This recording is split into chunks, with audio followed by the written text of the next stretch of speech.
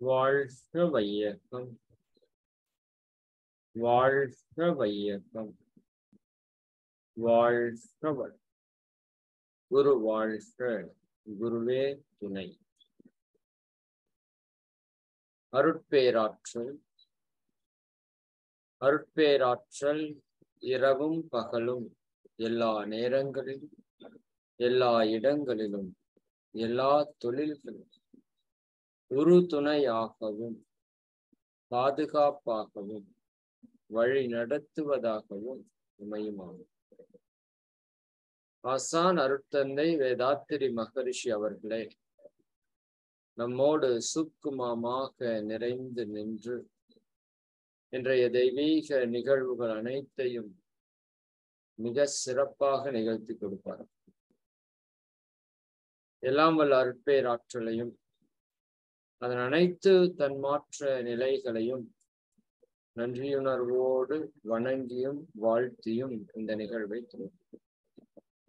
வாழ்க வளம் வாழ்க வளம்.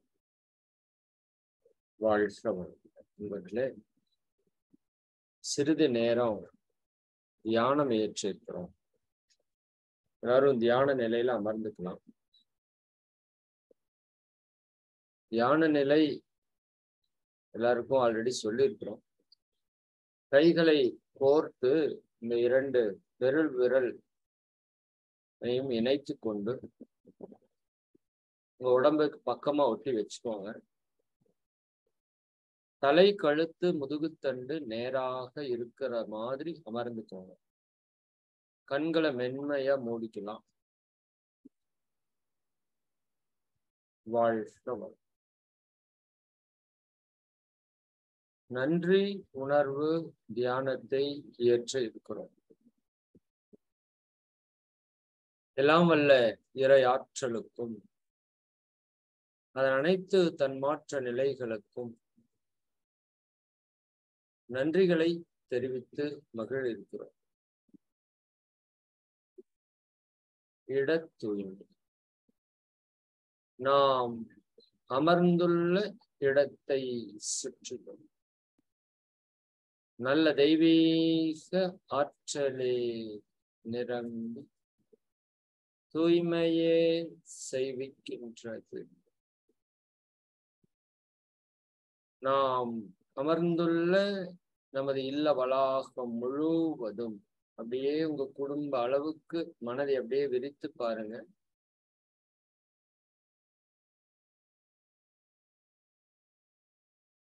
நமது இல்ல வளாகம் முழுவதும் நல்ல தெய்வீக ஆற்றல் இறை ஆற்றல் நிரம்பி ததும்பிக் கொண்டிருக்கிறது. உணர்ந்து பாரு.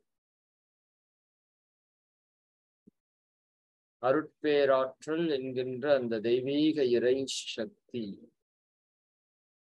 நமது இல்லம் முழுவதும் பாய்ந்து நிரம்பிக் கொண்டிருக்கிறது. நமது இல்லத்தில் உள்ள தேவையற்ற சக்திகள் அனைத்தும் வெளியேறி தெய்வீக சக்தியினுடைய இருப்பிடமாக நாம் அமர்ந்திருக்கின்ற இல்ல வளாகம் முழுமையும் அந்த தெய்வீக சக்தி நிரம்பி இருப்பதை அப்படியே உணர்ந்து பாருங்க அருளாற்றல் பாய்ச்சி. அருட்பேராற்றல் உடலிலே உயிரிலே. அலை அலை அலை அலை அலை அலை அலையான பாய்ந்து நிரம்புவதை உணர்கிறோம்.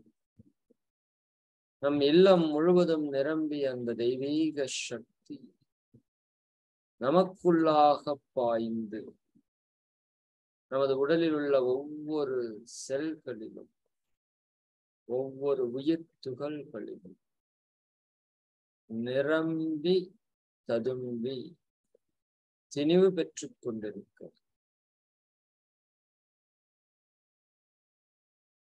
அருட்பேராற்றல் உடலிலே உயிரிலே அலை அலை அலை அலை அலை அலை அலையாம்.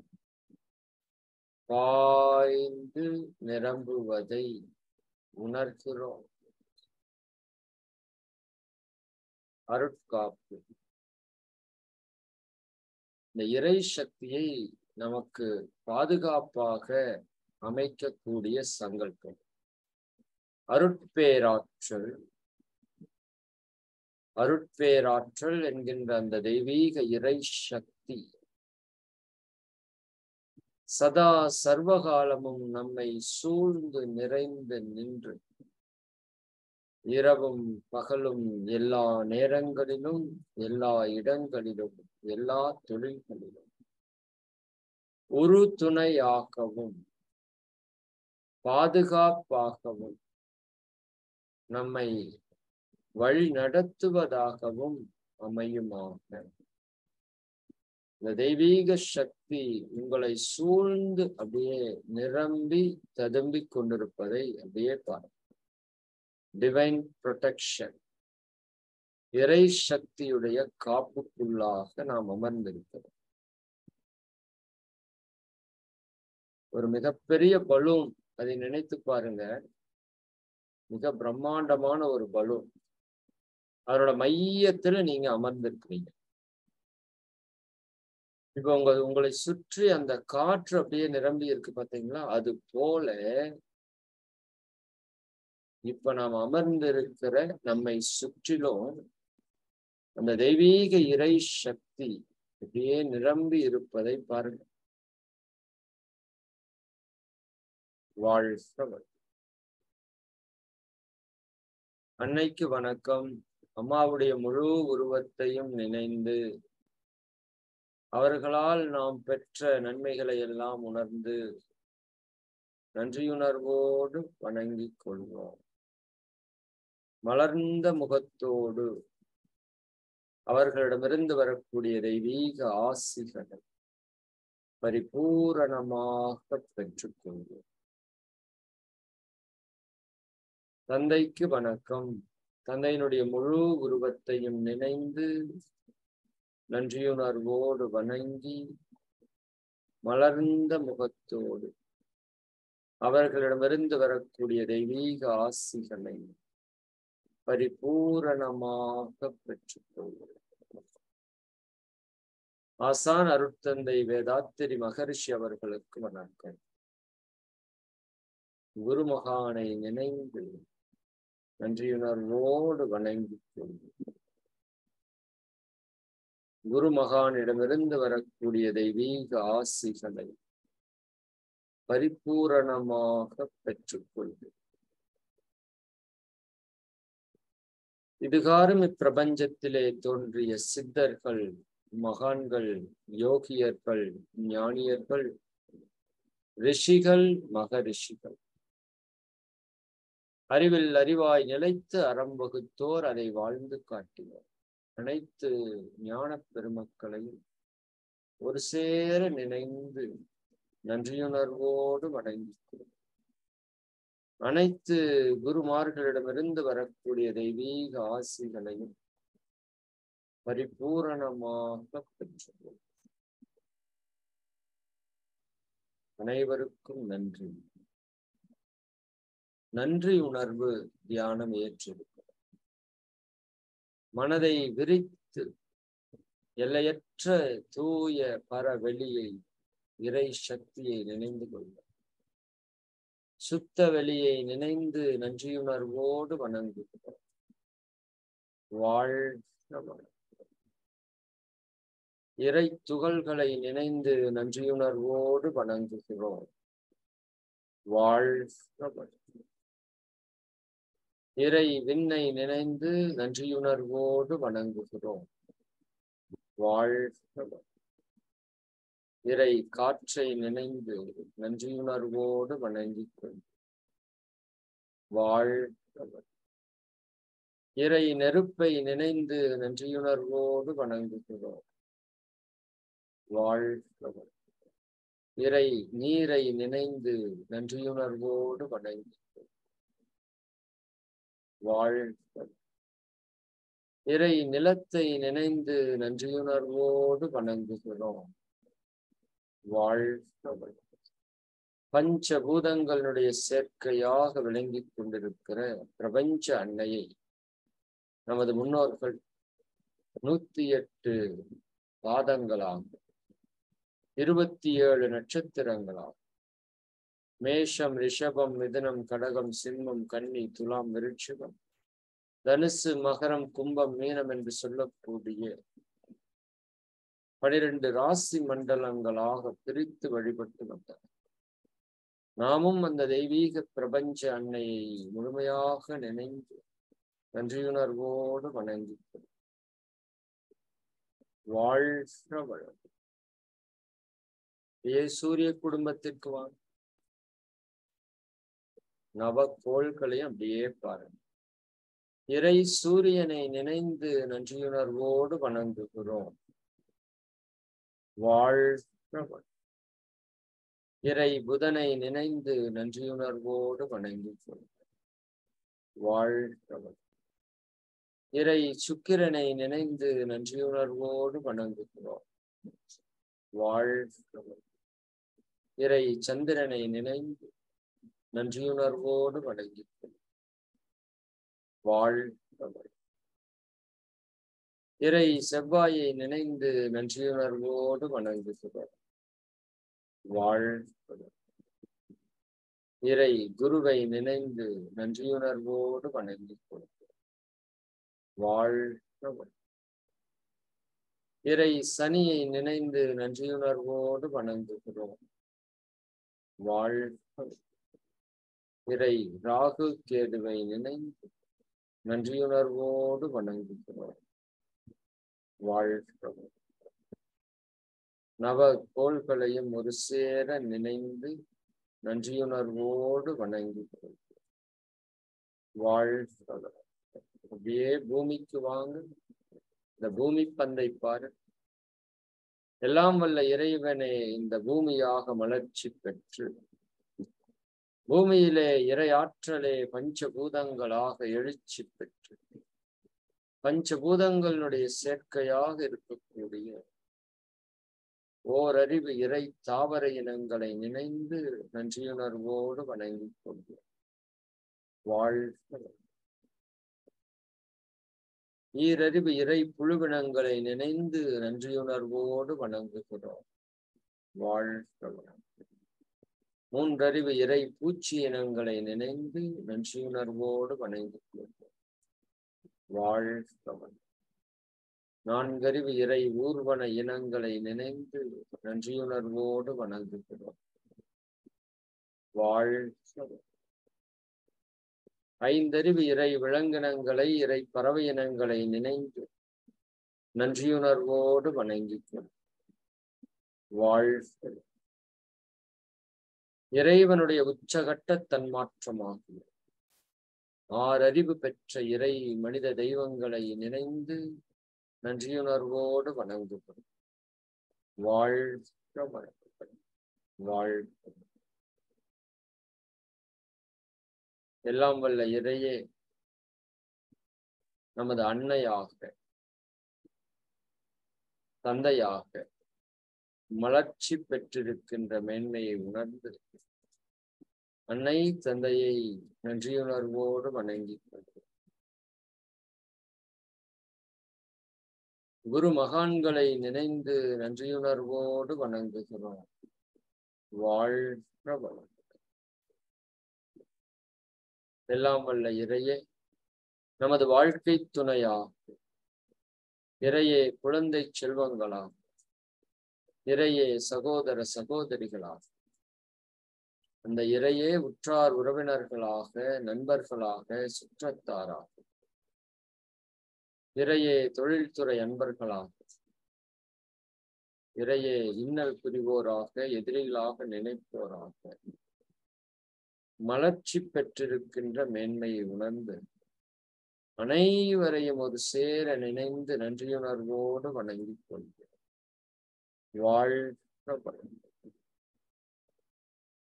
எல்லாம் வல்ல இறையே நமது உடலாக உயிராக அறிவாக ஆன்மாவாக மலர்ச்சி பெற்றிருக்கின்ற மேன்மையை உணர்ந்து நம்மை நாமே நன்றியுணர்வோடு வணங்கிப்போம் வாழ்க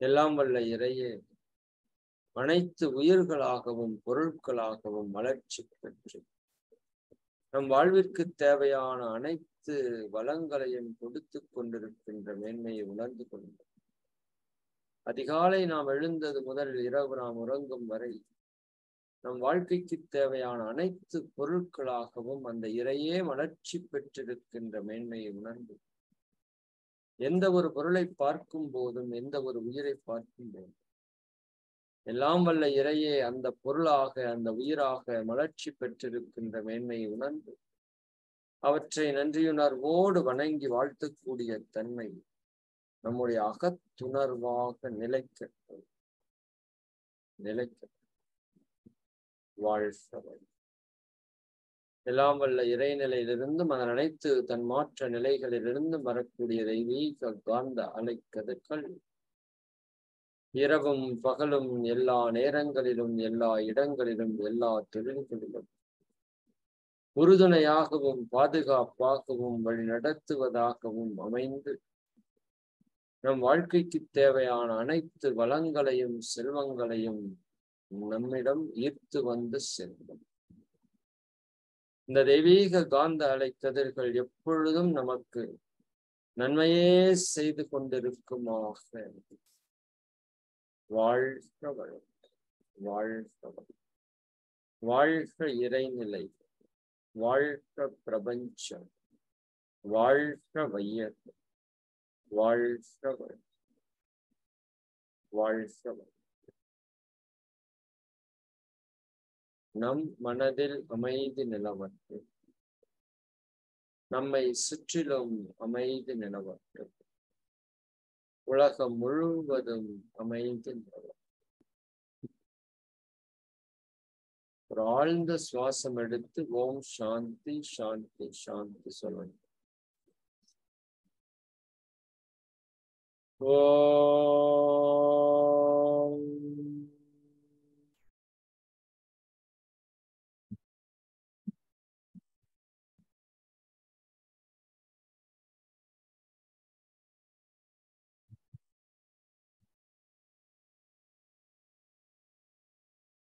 शांति शांति शांति வாழ்க்கவன் இப்ப இரண்டு கைகளையும் மெதுவாக பிரித்து ஓசையின்றி மென்மையாக தேய்த்து இரண்டு உள்ளங்கைகளையும் கண்களில் ஒற்றிக்கொண்டு முகம் முழுவதும் வருடி கொடுத்து கைகளை நன்கு மேலே உயர்த்தி சேர்த்து ஒரு ஆழ்ந்த சுவாசி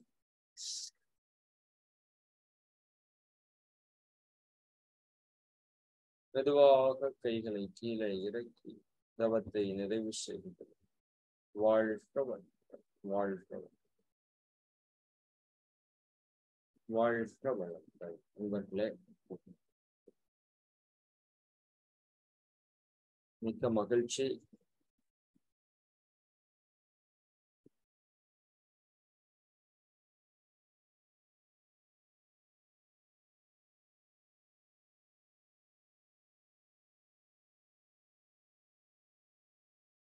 சரி. இப்ப நம்ம சிந்தனைக்குள்ள செல்ல இருக்கிறோம். ஆக்சுவலா இன்னைக்கு பயிற்சி கொடுக்கறேன்னு சொல்லியிருந்தோம். பயிற்சி நாம அடுத்த வாரத்துக்கு மாத்துறோம் சில சிந்தனைகள் உங்களுக்கு இன்னும் ஆழமாக கொடுக்கணும்னு இன்னைக்கு காலையில வந்த யோசனை. சரிங்களா? சரி எப்ப கிடைக்குமோ அது சரியாக கிடைக்கும். ஏன்னா அந்த பயிற்சியுடைய முக்கியத்துவத்தை நீங்க இன்னும் ஆழமாக புரியணும்னு நினைக்கிறேன். அதனால நம்ம இன்னைக்கு சிந்தனைக்கு போவோம். சரி. முதல்ல மிக சரியான நேரத்துல வந்த நானூத்தி எண்பத்தி மூணு அன்பர்கள். இப்ப கிட்டத்தட்ட எட்நூத்தி ஐம்பது பேர் உள்ள இருக்கிறோம் இதுல நானூத்தி எண்பத்தி மூன்று அன்பர்கள் அந்த சரியான நேரத்துல இணைந்திருந்தாங்க. அவங்களுக்கு ஒரு மிகப்பெரிய நன்றி. அவர்களுக்கும் அவருடைய அன்பு குடும்பத்தினர் அனைவருக்கும் எல்லாம் வல்ல அருட்பேராற்றல். வாழ்விற்கு தேவையான அனைத்து வளங்களையும் சிறப்பாக வழங்கட்டும். வாழ்க வளம் வாழ்க தாமதமாக வந்தவர்களுக்கு இன்னும் கொஞ்சம் அதிகமாக வழங்கணும்னு நினைக்கிறேன். உண்மைதானே? சரிதானுங்களா இந்த நிகழ்விலே கலந்து கொண்டுள்ள அன்பர்கள் அனைவருக்கும் எல்லாம் வல்ல அருட்பேராற்றல் வாழ்விற்கு தேவையான அனைத்து வளங்களையும் செல்வங்களையும் நிறைவாக வழங்கட்டும். வாழ்க வழங்குகிறார் வாழ்க ஏன் அவங்களுக்கு ஒரு விஷயம் சொல்றோம் அப்படின்னா நான் சென்ற முறை வகுப்பிலேயே சொன்னது போல நம்முடைய ஆர்வம் தான் நம்முடைய வாழ்க்கையோட உயர்வுக்கு அடிப்படை. சரியானுங்களா அந்த தீவிரம் வேண்டும். ஒவ்வொரு விஷயத்திலையும் அது நீங்க பொருள் பெருக்கணும்னாலும் சரி உடல் ஆரோக்கியம் பெறணும்னாலும் சரி உங்களுக்கு அந்த தீவிரம் வேண்டும். தீவிரம் இருக்கும்போது எல்லாமே கிடைக்கும். ராமகிருஷ்ண பரமஹம்சர் சொல்வார் நீருக்குள்ளே உன்னை மூழ்கடித்தால். தலை பிடிச்சு உங்களை தண்ணிக்குள்ள தள்ளினான்னா அதுல இருந்து வெளியே வரணும்னு நீங்க எந்த அளவுக்கு ஃபோர்ஸா வேலை செய்வீங்க? செய்வோமா இல்லையா? அப்போ ஒரு ஃபோர்ஸ் வரும் பாத்தீங்களா நம்ம கிட்ட அந்த ஃபோர்ஸ் இருக்கணும்னு சொல்றாரு. அந்த ஒரு ஆர்வம் அந்த ஒரு தீவிரம் இருந்தா தான் உங்க வாழ்க்கையில மகிழ்ச்சியா வாழ முடியும்னு மகான்கள் சொல்றாங்க. சரிங்களா? அப்போ அது எப்படி நம்ம உணர முடியும்னா நீங்க வர்றதை வச்சுதான் நான் உணர முடியும். நேரடி வகுப்புனா உங்களை பார்த்தா தெரியும். இல்லாட்டி நீங்க வர்றதை வச்சுதான் உணர முடியும். அதனால அந்த நானூத்தி எண்பத்தி மூன்று பேர் மிக சரியாக அந்த பதினொன்று சாரி பனிரெண்டு மணி அப்படிங்கிறப்போ அந்த நானூத்தி எண்பத்தி மூணு பேர் ஜூம்ல ஒரு முன்னூத்தி நாற்பத்தி நாலு பேரும் யூடியூப்ல ஒரு நூத்தி முப்பத்தி ஒன்பது பேரும் இணைஞ்சிருந்தாங்க. ரொம்ப சந்தோஷமா இருந்தது எனக்கு உண்மையாலுமே. சரி மிக்க மகிழ்ச்சி. சரி. அதே போல தொடர்ந்து வாங்க. அதனாலதான் நான் மீண்டும் மீண்டும் சொல்றோம். இதுல நிறைய பேர் என்ன நினைக்கலாம்னா இப்ப தவம் தானப்பா நடத்துறீங்க? சும்மா பாட்டு தானப்பா பாடுறாங்க? அப்படி உங்களுக்கு தோணலாம். அது அப்படி அல்ல. நீங்க நம்ம மனம் அதை பற்றி மனதை பற்றி நிறைய பின்னாடி பேச போறோம். சிம்பிளா தெரிஞ்சுக்கோங்க. உங்கள் மனம் சாதாரண நிலையிலிருந்து ஒரு விஷயத்தை கேட்பதற்கும் ஒரு அமைதி நிலையிலிருந்து ஒரு விஷயத்தை கேட்பதற்கு மிகப்பெரிய வித்தியாசம் இருக்கு. மிகப்பெரிய வித்தியாசம். சரிதானுங்களா? அப்ப நம்ம மனதை அமைதிப்படுத்துறதுக்கு தான் நம்ம தியானம் என்கின்ற ஒரு நுட்பத்தை நம்ம பயன்படுத்தணும். அது இதில் நீங்க கரெக்டா பன்னெண்டு மணிக்கு இணைந்தீங்கன்னா முதல் நம்ம செய்யறது என்னன்னா உலக நல வேள்வி. இந்த வையகத்தை நினைத்து நீங்க வாழ்க வையகம் வாழ்க வையகம் வாழ்க வளமுடன் அஞ்சு முறை சொல்றீங்க. நீங்க வாய்விட்டு சொல்வது மிக மிக சிறப்பு. இல்லைனாலும் பரவாயில்ல கண்களை மூடி. இந்த வையகம் தான் நமக்கு அத்தனை நல்லதையும் செஞ்சுட்டு இருக்கு யோசித்து பாருங்க. உண்ண உணவு அதுதான் கொடுக்குது உடுத்த உடை அதுதான் கொடுக்குது இருக்க இருப்பிடம் கொடுக்குது. இன்னும் நம்ம வாழ்க்கைக்கு தேவையான எல்லா வசதிகளையும் கொடுக்குது. அப்ப அந்த வையகத்தை நினைத்து வாழ்த்த வேண்டாமா? அதனால சொல்லுவோம் வாழ்த்துவோர்கள் வாழ்த்தப்படுவார்கள். வாழ்த்துவோர்கள் வாழ்விக்கப்படுவார்கள்னு சொல்லுவாங்க. வாழ்த்தி வாழ்வோம் அப்படின்னு சொல்லுவாங்க. அப்ப நீங்க எந்த அளவுக்கு இந்த வாழ்த்து மகா மந்திரத்தை பயன்படுத்துறீங்களோ அந்த அளவுக்கு இந்த உலக சக்தி அத்தனையுமே உங்களுக்கு பாசிட்டிவா வந்தது. இப்போ நான் உங்களை பார்த்து வாழ்க வளமுடன் சொன்னேன்னா நீங்க எனக்கு நல்லது செய்வீங்களா கெட்டது செய்வீங்களா? நான் நினைக்கிறேன் நீங்க எல்லாரும் நல்லா இருக்கணும். உடல் நல மன ஆரோக்கியத்தோட அனைத்து செல்வங்களோட நிறைவா இருக்கணும்னு நான் வாழ்த்துறேன். அப்படி நான் வாழ்த்தும் போது நீங்க என்ன என்ன சொல்லுவீங்க? நீயும் நல்லா இருந்தான்னு சொல்லுவீங்க. நீயும் நல்லா இருக்கணும்ப்பா அப்படிதானே சொல்லுவீங்க சலாம் அலைக்கும் சொல்றாங்கல்ல. அப்படின்னு என்ன அர்த்தம்? சாந்தமும் அமைதியும் உங்கள் வாழ்வில் முழுமையாக நிலவட்டும் அப்படின்னு அர்த்தம். சரிங்களா? இது இதான் மீனிங் இதுதான். உங்க வாழ்க்கையில சாந்தமும் அமைதியும் மகிழ்ச்சியும் நிலவட்டும் அப்படின்னு சொல்றாங்க. யாரை பாக்குறப்பும் சொல்றாங்க. அதுக்கு அவங்க திருப்பி என்ன சொல்றாங்க? அலைக்கும் சலாம் அப்படின்னு அப்படியே உங்களுடைய வாழ்விலும் நிகழட்டும். சரிதானுங்களா? இதுதான் மிகப்பெரிய ஆசிர்வாதம். அப்ப நீங்க இந்த வையகத்தை நினைத்து வாழ்த்தும் போது இந்த வையகத்தில் இருக்கிற எல்லா சக்தியும் பஞ்சபூத சக்தியும் சரிதானுங்களா? இங்க இருக்கிற எல்லா உயிர்களும் உங்களை நினைத்து என்ன செய்யறதுக்கு ஆரம்பிச்சிடும் நீங்க அவங்கள வாழ்த்துறப்ப அவங்க எல்லாரும் உங்களை வாழ்த்துறதுக்கு ஆரம்பிச்சிடும் இந்த மக்கள் எல்லாரும் உங்களை வாழ்த்துவாங்க. உயிர்கள் எல்லாம் உங்களை வாழ்த்தும். பஞ்சபூத சக்தியும் வாழ்த்தும். அப்ப ஏதாவது உங்களுக்கு துன்பத்தை கொடுக்குமா? எதுவுமே துன்பம் கொடுக்காது. புரியுதா நீங்க? அதனாலதான் இந்த வாழ்க வையகம் வாழ்க வளமுடன்கிறது மகா மந்திரம்னு சொல்றோம்.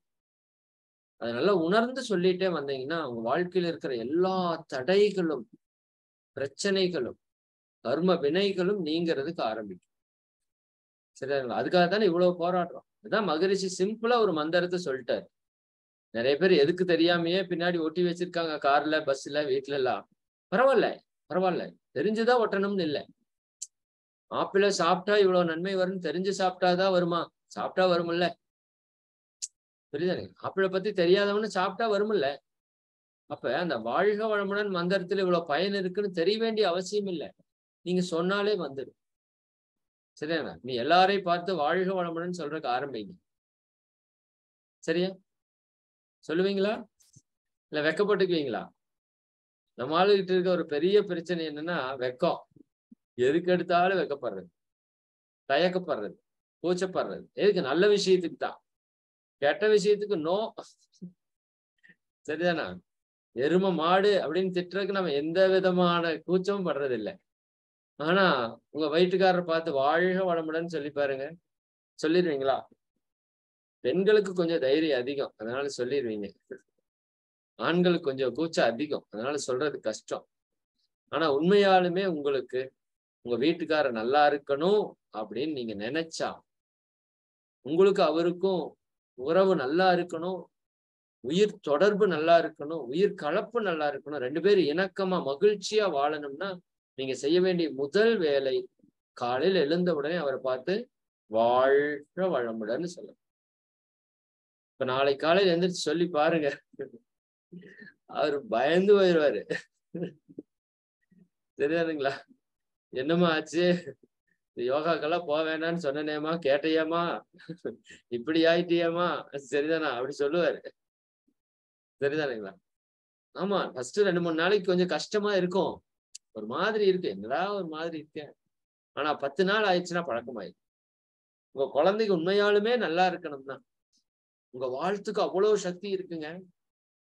உங்க வாழ்த்து சாதாரண விஷயம் அல்ல. சரியாங்களா அதனாலதான் நம்ம திருமணத்துல வாழ்த்துறோம் பிறந்த நாள்ல வாழ்த்துறோம் வீடு கிரகப்பிரவேசம்னா வாழ்த்துறோம். லட்ச லட்சமா செலவு பண்ணி வந்து வாழ்த்திட்டு போங்கன்னு தானே கூப்பிடுறீங்க கல்யாணத்துக்கு. இந்த வாழ்த்து மையன்னு ஒரு பெரிய டாபிக் நான் ஒரு ரெண்டு மூணு நாள் பேசுவேன் பின்னாடி. சரி அதனால அதனால அந்த பலன் நீங்க அதுக்கப்புறம் தான் அனுபவிக்கணும்னு அவசியம் இல்லை. இப்பவே சொல்லுங்க. நீங்க வாழ்க வளமுடன் சொன்னாலே என்ன சரியாயிரும்? உங்க உடல்ல இருக்கிற நோயெல்லாம் குணமாயிரும். அது எப்படி நான் பின்னாடி சொல்றேன்?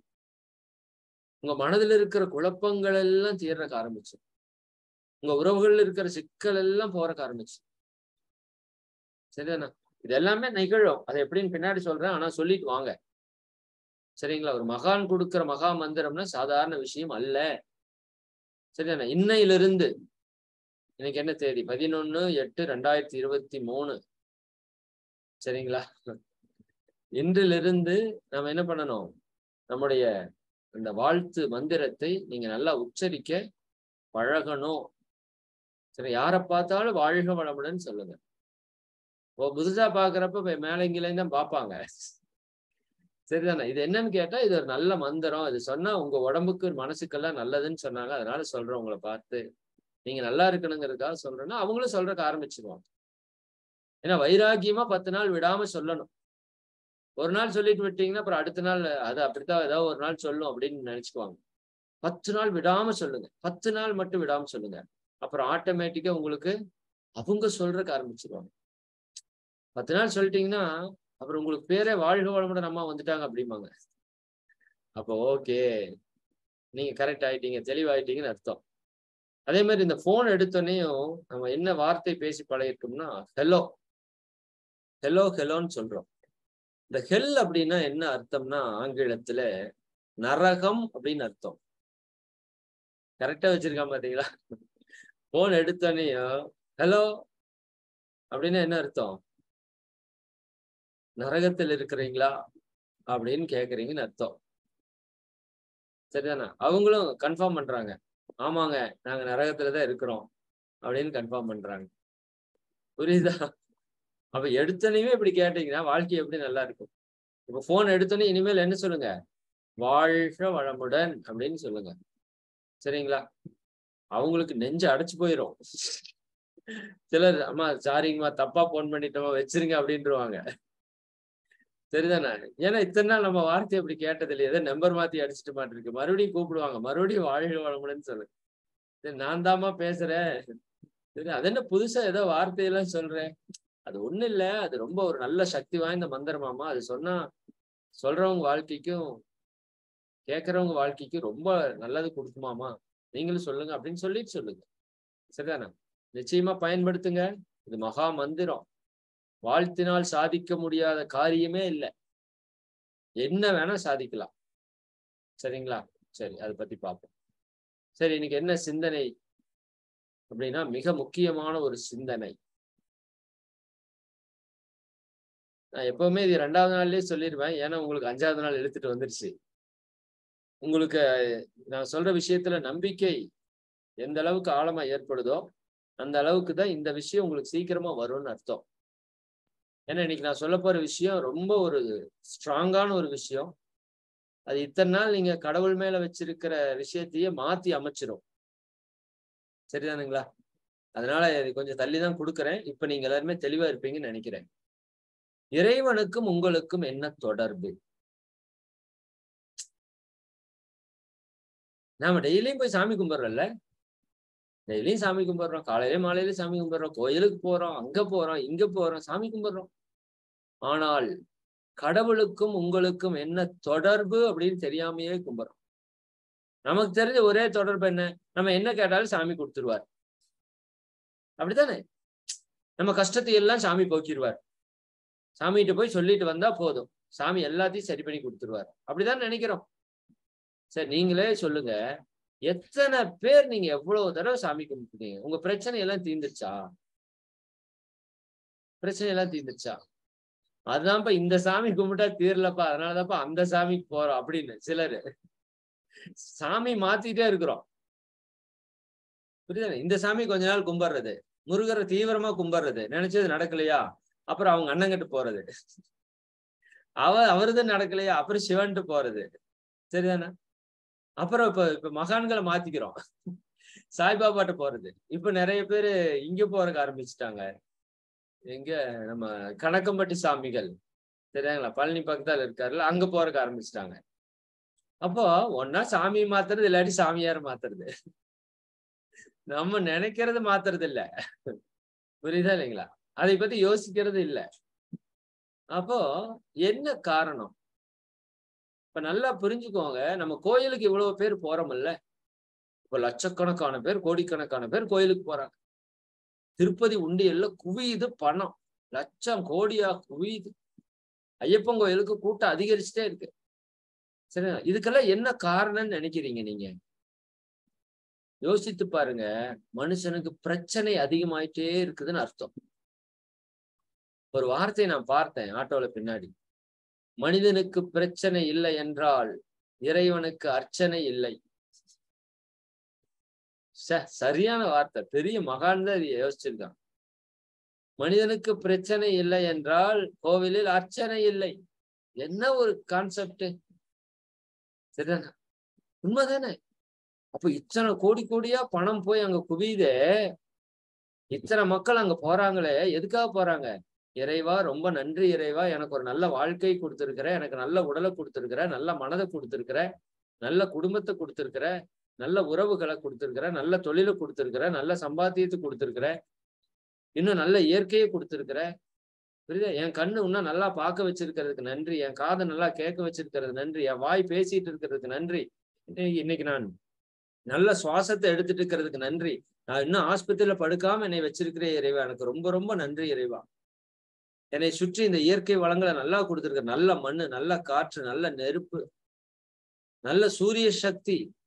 சில இத்தனையும் கொடுத்துருக்கிறே இறைவா ரொம்ப நன்றி இறைவா ரொம்ப அப்படியா போறீங்க?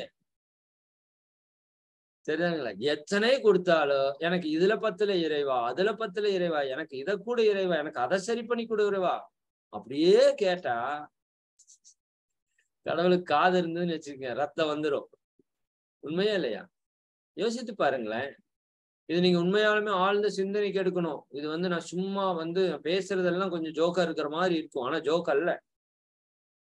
நீங்க ஆழ்ந்து சிந்திக்கக்கூடிய விஷயத்த நம்ம பேசிட்டு இருக்கோம். சரியானுங்களா அப்ப இறைவன்ட்டு இத்தனை நாள் போனமே நம்ம பிரச்சனை எல்லாம் தீர்ந்துருச்சா? தீரலையே. அப்ப ஏன் இறைவன் தீக்கல இறைவனால தீர்க்க முடியாதா?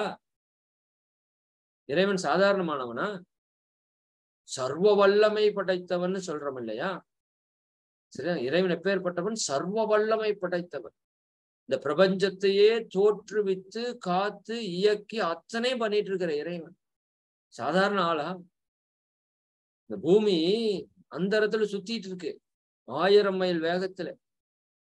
யார் சுத்த வச்சிட்டு இருக்கா? சொல்லுங்க. நீங்கள் நாம சுத்த வைக்கிறோம். இந்த இறை ஆற்றல் சுத்த வச்சிட்டு இருக்கு. எவ்வளவு பவர் இருக்கணும்? இருபத்தி ஐயாயிரம் மைல் சுற்றளவு இருக்கிற பல ஆயிரம் லட்சம் கோடி டன் இருக்கிற அந்த பூமிய பம்பரை மாதிரி சுத்த வச்சிட்டு இருக்கானே அந்த இடத்துல எந்த பிடிமானமும் இல்லாம. புரிதனைங்க பூமி மாதிரி சூரியன் பத்தொன்பது லட்சம் மடங்கு பெருசாமா? அதுவும் அந்த இடத்துல தானே சுத்துது. இந்த சூரிய குடும்பமே அந்த இடத்துல தானே சுத்துது. யாரு சுத்த வைக்கிறா? இறைவன் சுத்த வைக்கிறான். இறை ஆற்றல் சுத்த வைக்குது இது மாதிரி எத்தனாயிரம் கோடி கோடி கோடி கோடி சூரிய குடும்பம் அந்த பிரபஞ்சத்துல சுத்திட்டு இருக்கு. எல்லாத்தையும் இயக்கி வச்சிட்டு இருக்கிற இறைவன். சொல்லுவாங்களே கல்லுக்குள் தேரைக்கும். எப்படி ஒரு விஷயம் ஒரு கல்லுக்குள்ள ஒரு தேரை இருக்குதுங்க. அதுக்கு சாப்பாடு சப்ளை ஆகுதுங்க. நினைச்சு பாருங்க. சரியாங்களா முட்டைக்குள் கருவுக்கும். ஒரு முட்டை இருக்கு. அதுக்குள்ள இருக்கிற அந்த கருவுக்கும் உணவு பக்காவா ரெடி பண்ணி வச்சிருக்காங்க. எவ்வளோ பெரிய சக்தி வாய்ந்தவன் அன்பும் கருணையும் மிக்கவன் சர்வ வல்லமை கொண்டவன் பேராற்றல் கொண்டவன். அந்த இறைவன் ஏன் என்னுடைய பிரச்சனையை சரி பண்ணல? அதுதான் உங்க கேள்வி. ஏன் இறைவா இத்தனை வேண்டுதல் வேண்டனே உனக்கெல்லாம். கொஞ்சம் கூட கருணையே இல்லையா? கண்ணே இல்லையா இறைவா? அப்படியெல்லாம் திட்டுறீங்கல்ல கேக்குறீங்கல்ல. உண்மையாலுமே இறைவனுக்கு உங்களுக்கு என்னதான் தொடர்பு? இது தெரியல. அதுதான் எனக்கு இத்தனை பிரச்சனை. இத்தனை பிரச்சனை அதுதான். நான் இன்னைக்கு சொல்றேன் இனிமேல் அது உங்களுக்கு வந்து இந்த கேள்வியே வரக்கூடாது. சரி நிச்சயமா வராது. அது வேற விஷயம். அப்ப என்ன தொடர்பு? நம்மளுக்கு இறைவனுக்கு என்ன தொடர்பு அப்படின்னா நான் ஒரு உதாரணம் சொல்றேன். இப்போ நீங்க சாம்பார் வைக்கிறீங்க. சாம்பார் வச்சிட்டீங்க. உப்பு ஒரு கைப்பிடி போடுறதுக்கு பொதுவா ரெண்டு கைப்பிடி போட்டீங்க. ரெண்டு தடவை போட்டீங்கன்னு வச்சுக்கோங்க. கைப்பிடியில் ரெண்டு தடவை போட்டீங்க. இப்போ சாம்பார்ல உப்பு எப்படி இருக்கும்? அதிகமாக இருக்கும். அதிகமா இருக்கும். சரியா? இப்ப அந்த சட்டி சாம்பார் அப்படியே எடுத்துக்கோங்க. சரியா? எந்த கடவுள்கிட்ட கொண்டு போய் கொடுத்தா உப்பை குறைத்து கொடுப்பார் அப்படின்னு நீங்க இப்ப சொல்லணும். எந்த கடவுள்கிட்ட போனா உப்பை குறைச்சு கொடுப்பார். பழனி போலாமா? சபரிமலை போலாமா? திருப்பதி போலாமா? காசி போலாமா? பாவமே கலையுங்கிறாங்களே கரையுங்கிறாங்களே. இந்த உப்பா கரையாது. புரியுது ராமேஸ்வரம் போலாமா? இல்ல மெக்கா மெதினா எங்காவது போலாமா? இல்ல ஜீசஸ் பிறந்த இடம் ஜெருசலத்துக்கே போயிருவோமா? இல்ல போப்பாண்டவர்கிட்ட போயிருவோமா? தெரியாதுங்களா? எங்க போனா குறையும் சொல்லுங்க. நான் கடவுளை குறைவா பேசுறதா தப்பா நினைச்சுக்காதீங்க. நாம கடவுளை தப்பா புரிஞ்சிட்டு இருக்கிறதுங்கிறத நான் உங்களுக்கு விளக்கிட்டு இருக்கேன். சரியானுங்களா அப்ப உப்பிலி ஒரு அம்மா சொல்றாங்க உப்பிலியப்பன் கோயிலுக்கு போலாங்க ஏன் உப்பு குறையும். சரிதானா குறைஞ்சிருமாமா? சரிதானா உப்புளியப்பன் என்ன கேட்பாரு இங்க வா இங்க வா. என்ன வேணும் உனக்கு? உப்பு குறையணும். சரிதானா? என்ன கேட்பாரு உப்பு குறையணுமா? உப்பு எச்சா போட்டதுக்கு யார் காரணம்னு கேட்பாரு நான் தான் சாமி போனேன் அப்ப நீ ஒன்னு செய்வ நான் வந்து சரி பண்ணி கொடுப்பேன். எனக்கு வேற வேலை இல்லை. புரியுதா நீ தப்பு செய்வ அது எல்லாம் வந்து சரி பண்ணிட்டு இருக்கிறது தான் என் வேலை. யார் பண்ண? நீ தானே பண்ண. நானா போட்டேன். கடவுள் கேட்பார மாட்டாங்க நான் போட்டிருந்தேன்னா சொல்லு நான் சரி பண்றேன்ப்பா. நீ தானே உப்பு போட்ட. அப்ப நீ தானே சரி பண்ணணும் எங்கிட்ட இதுக்கு வர்ற? கேட்பாரா மாட்டாரா? யோசித்து பாருங்களேன். அதாவது தப்பெல்லாம் நாம பண்ணுவோமாமா? சரியெல்லாம் இறைவன் பண்ணி விடுவானாமா? அவனுக்கு வேற வேலை இல்லையான்னு கேக்குறேன் சரிதானே? இந்த வி கே ராமசாமி ஒரு படம் பழைய படம் நடிச்சிருப்பா அப்படி ருத்ர தாண்டவம் அப்படின்னு சொல்லிட்டு ஒரு படம். சிவனா நடிச்சிருப்பாரு. உங்க வாய்ப்பு இருந்தா அந்த படம் யூடியூப்ல பாருங்க. நாகேஷ் சார் ஐயரா இருப்பாரு. பழைய ஆளுகளுக்கு தெரியும். ஒவ்வொருத்தரும் வந்து பிரச்சனையும் சொல்லுவான். நாகேஷ் என்ன சொல்லுவாருன்னா எல்லாம் கடவுள் பாத்துக்குவாரு. எல்லாம் சிவன் பாத்துக்குவாரு அப்படின்னு சொல்லிட்டே இருப்பான். சிவன் வந்துருவாரு. வந்துட்டு ஏயா அவன் பிள்ளை கல்யாணம் ஆகலின்னு சொல்றா. எல்லாம் நான் பாத்துக்குவேன்னு சொன்னா நான் என்ன பேங்கா வச்சிருக்கிறேன் கேப்பாரு அப்படி நான் என்ன பேங்கா வச்சிருக்கிற பணம் கொடுத்து கல்யாணம் பண்ணி வைக்கிறதுக்கு? அவன் ஏதாவது தெரிஞ்சவன் சொந்தக்காரன் தெரிஞ்சவன் பணக்காரன் எவனாச்சும் பார்த்து கேட்டு வாங்கி கல்யாணம் பண்ண சொல்லி எல்லாம் அவன் பாத்துக்குவான். எல்லாம் அவன் பாத்துக்குவாங்க. புரியுதா இல்லைங்களா? எல்லாத்துக்கும் அப்படியே சொல்லுவாரு. அது பயங்கரமான செம்மையான ஒரு படம். நல்லா கருத்து ஆழமிக்க ஒரு படம். நீங்க வாய்ப்பு இருந்தா அதை பாருங்க. சரி அப்ப இறைவனுக்கு வேற வேலை இல்லையா? நம்ம பண்ற தப்பையெல்லாம் சரி பண்ணி விட்டு இருக்கிறதா இறைவனோட வேலை? சரி சொல்லுங்க. அப்ப எந்த சாமி கிட்ட போனாலும் உப்பு குறையாது. புரிஞ்சுக்குங்க நீங்க. மாறாக சார் வாழ்த்தினால் எது வேணா நடத்தலாம்னு சொன்னீங்களே சார். சட்டியும் சாம்பாரையும் வச்சுட்டு நம்ம ஆயிரம் பேர் அப்படியே மெடிடேஷன் பண்ணி சட்டியில சாம்பார்ல உப்பு குறையட்டும் வாழ்க வளமுன்னு சொன்னா மாறுமா? சார் மாறாது. சத்தியமா மாறாது. நீங்க என்ன செய்தாலும் சாம்பாரில் உப்பு மாறாது. ஒண்ணு செய்யணும். என்ன செய்யணும்? லேடிஸ்க்கு நல்லா தெரியுமே. கொஞ்சம் தண்ணி ஊத்தணும். கொதிக்க வைக்கணும். இல்லாட்டி ரெண்டு உருளைக்கிழங்கு வெட்டி போடணும். இல்லாட்டி தேங்காயை கொஞ்சம் அரைச்சு ஊத்தணும். ஏதாவது ஒண்ணு பண்ணணும். புரியுதா நீங்க? உப்பு எச்சா போட்டீங்க. இறைவன் கரிப்பை கொடுத்து விட்டான். இப்ப அதுக்கு மாற்று செயல் செய்தா இறைவன் அந்த கருப்பை நீக்கி விடுவான். நல்லா புரிஞ்சுக்கோ. இறைவன் செஞ்சான்னு கூட சொல்ல வேண்டாமே. நீங்க ஒரு செயல் செஞ்சீங்க அதுக்கு விளைவு வந்துருச்சு. சரிதானுங்களா? நல்லா புரிஞ்சுக்கோங்க. நீங்க செய்த வினையை நீங்கள் தான் மாற்றி அமைக்க வேண்டும். அதற்கான வழியை காட்டு இறைவா சக்தியை கூட இறைவான்னு கேட்கலாம். ஆனா அவன் செஞ்செல்லாம் விடமாட்டான். நான் இப்ப சொல்ற சொல்ற புரிஞ்சுக்கோங்க. சாம்பார்ல உப்பை கரைக்க முடியாத நமது இறைவன் உங்களுடைய எந்த பிரச்சனையும் தீர்க்க முடியாது அவனா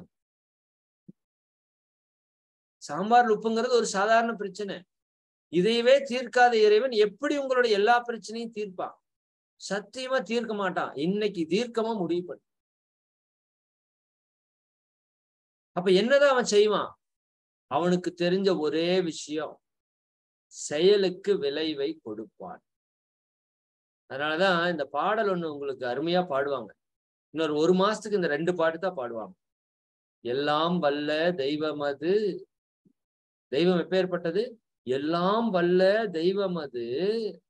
எங்கும் உள்ளது நீக்கமர எங்கும் நீக்கமர நிறைந்திருக்கிற பரம்பொருள். இப்படின்னு சொல்றாரு மகிழ்ச்சி மூணாவதுலயே சொல்றாரு பாருங்க. சொல்லால் மட்டும் நம்பாதே. நான் சொல்றேனே நீ நம்ப வேண்டாம் சுயமாய் சிந்தித்தே தெளிவாய்.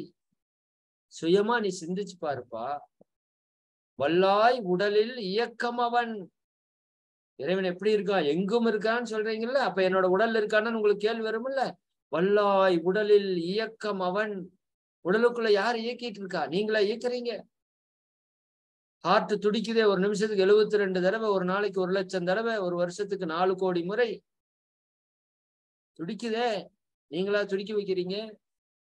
ஒரு நாளைக்கு இருபத்தி ஓராயிரத்தி அறுநூறு மூச்சு நீங்களா இழுத்து விடுறீங்க? கிட்னி தானா பிரிக்குதே கழிவை.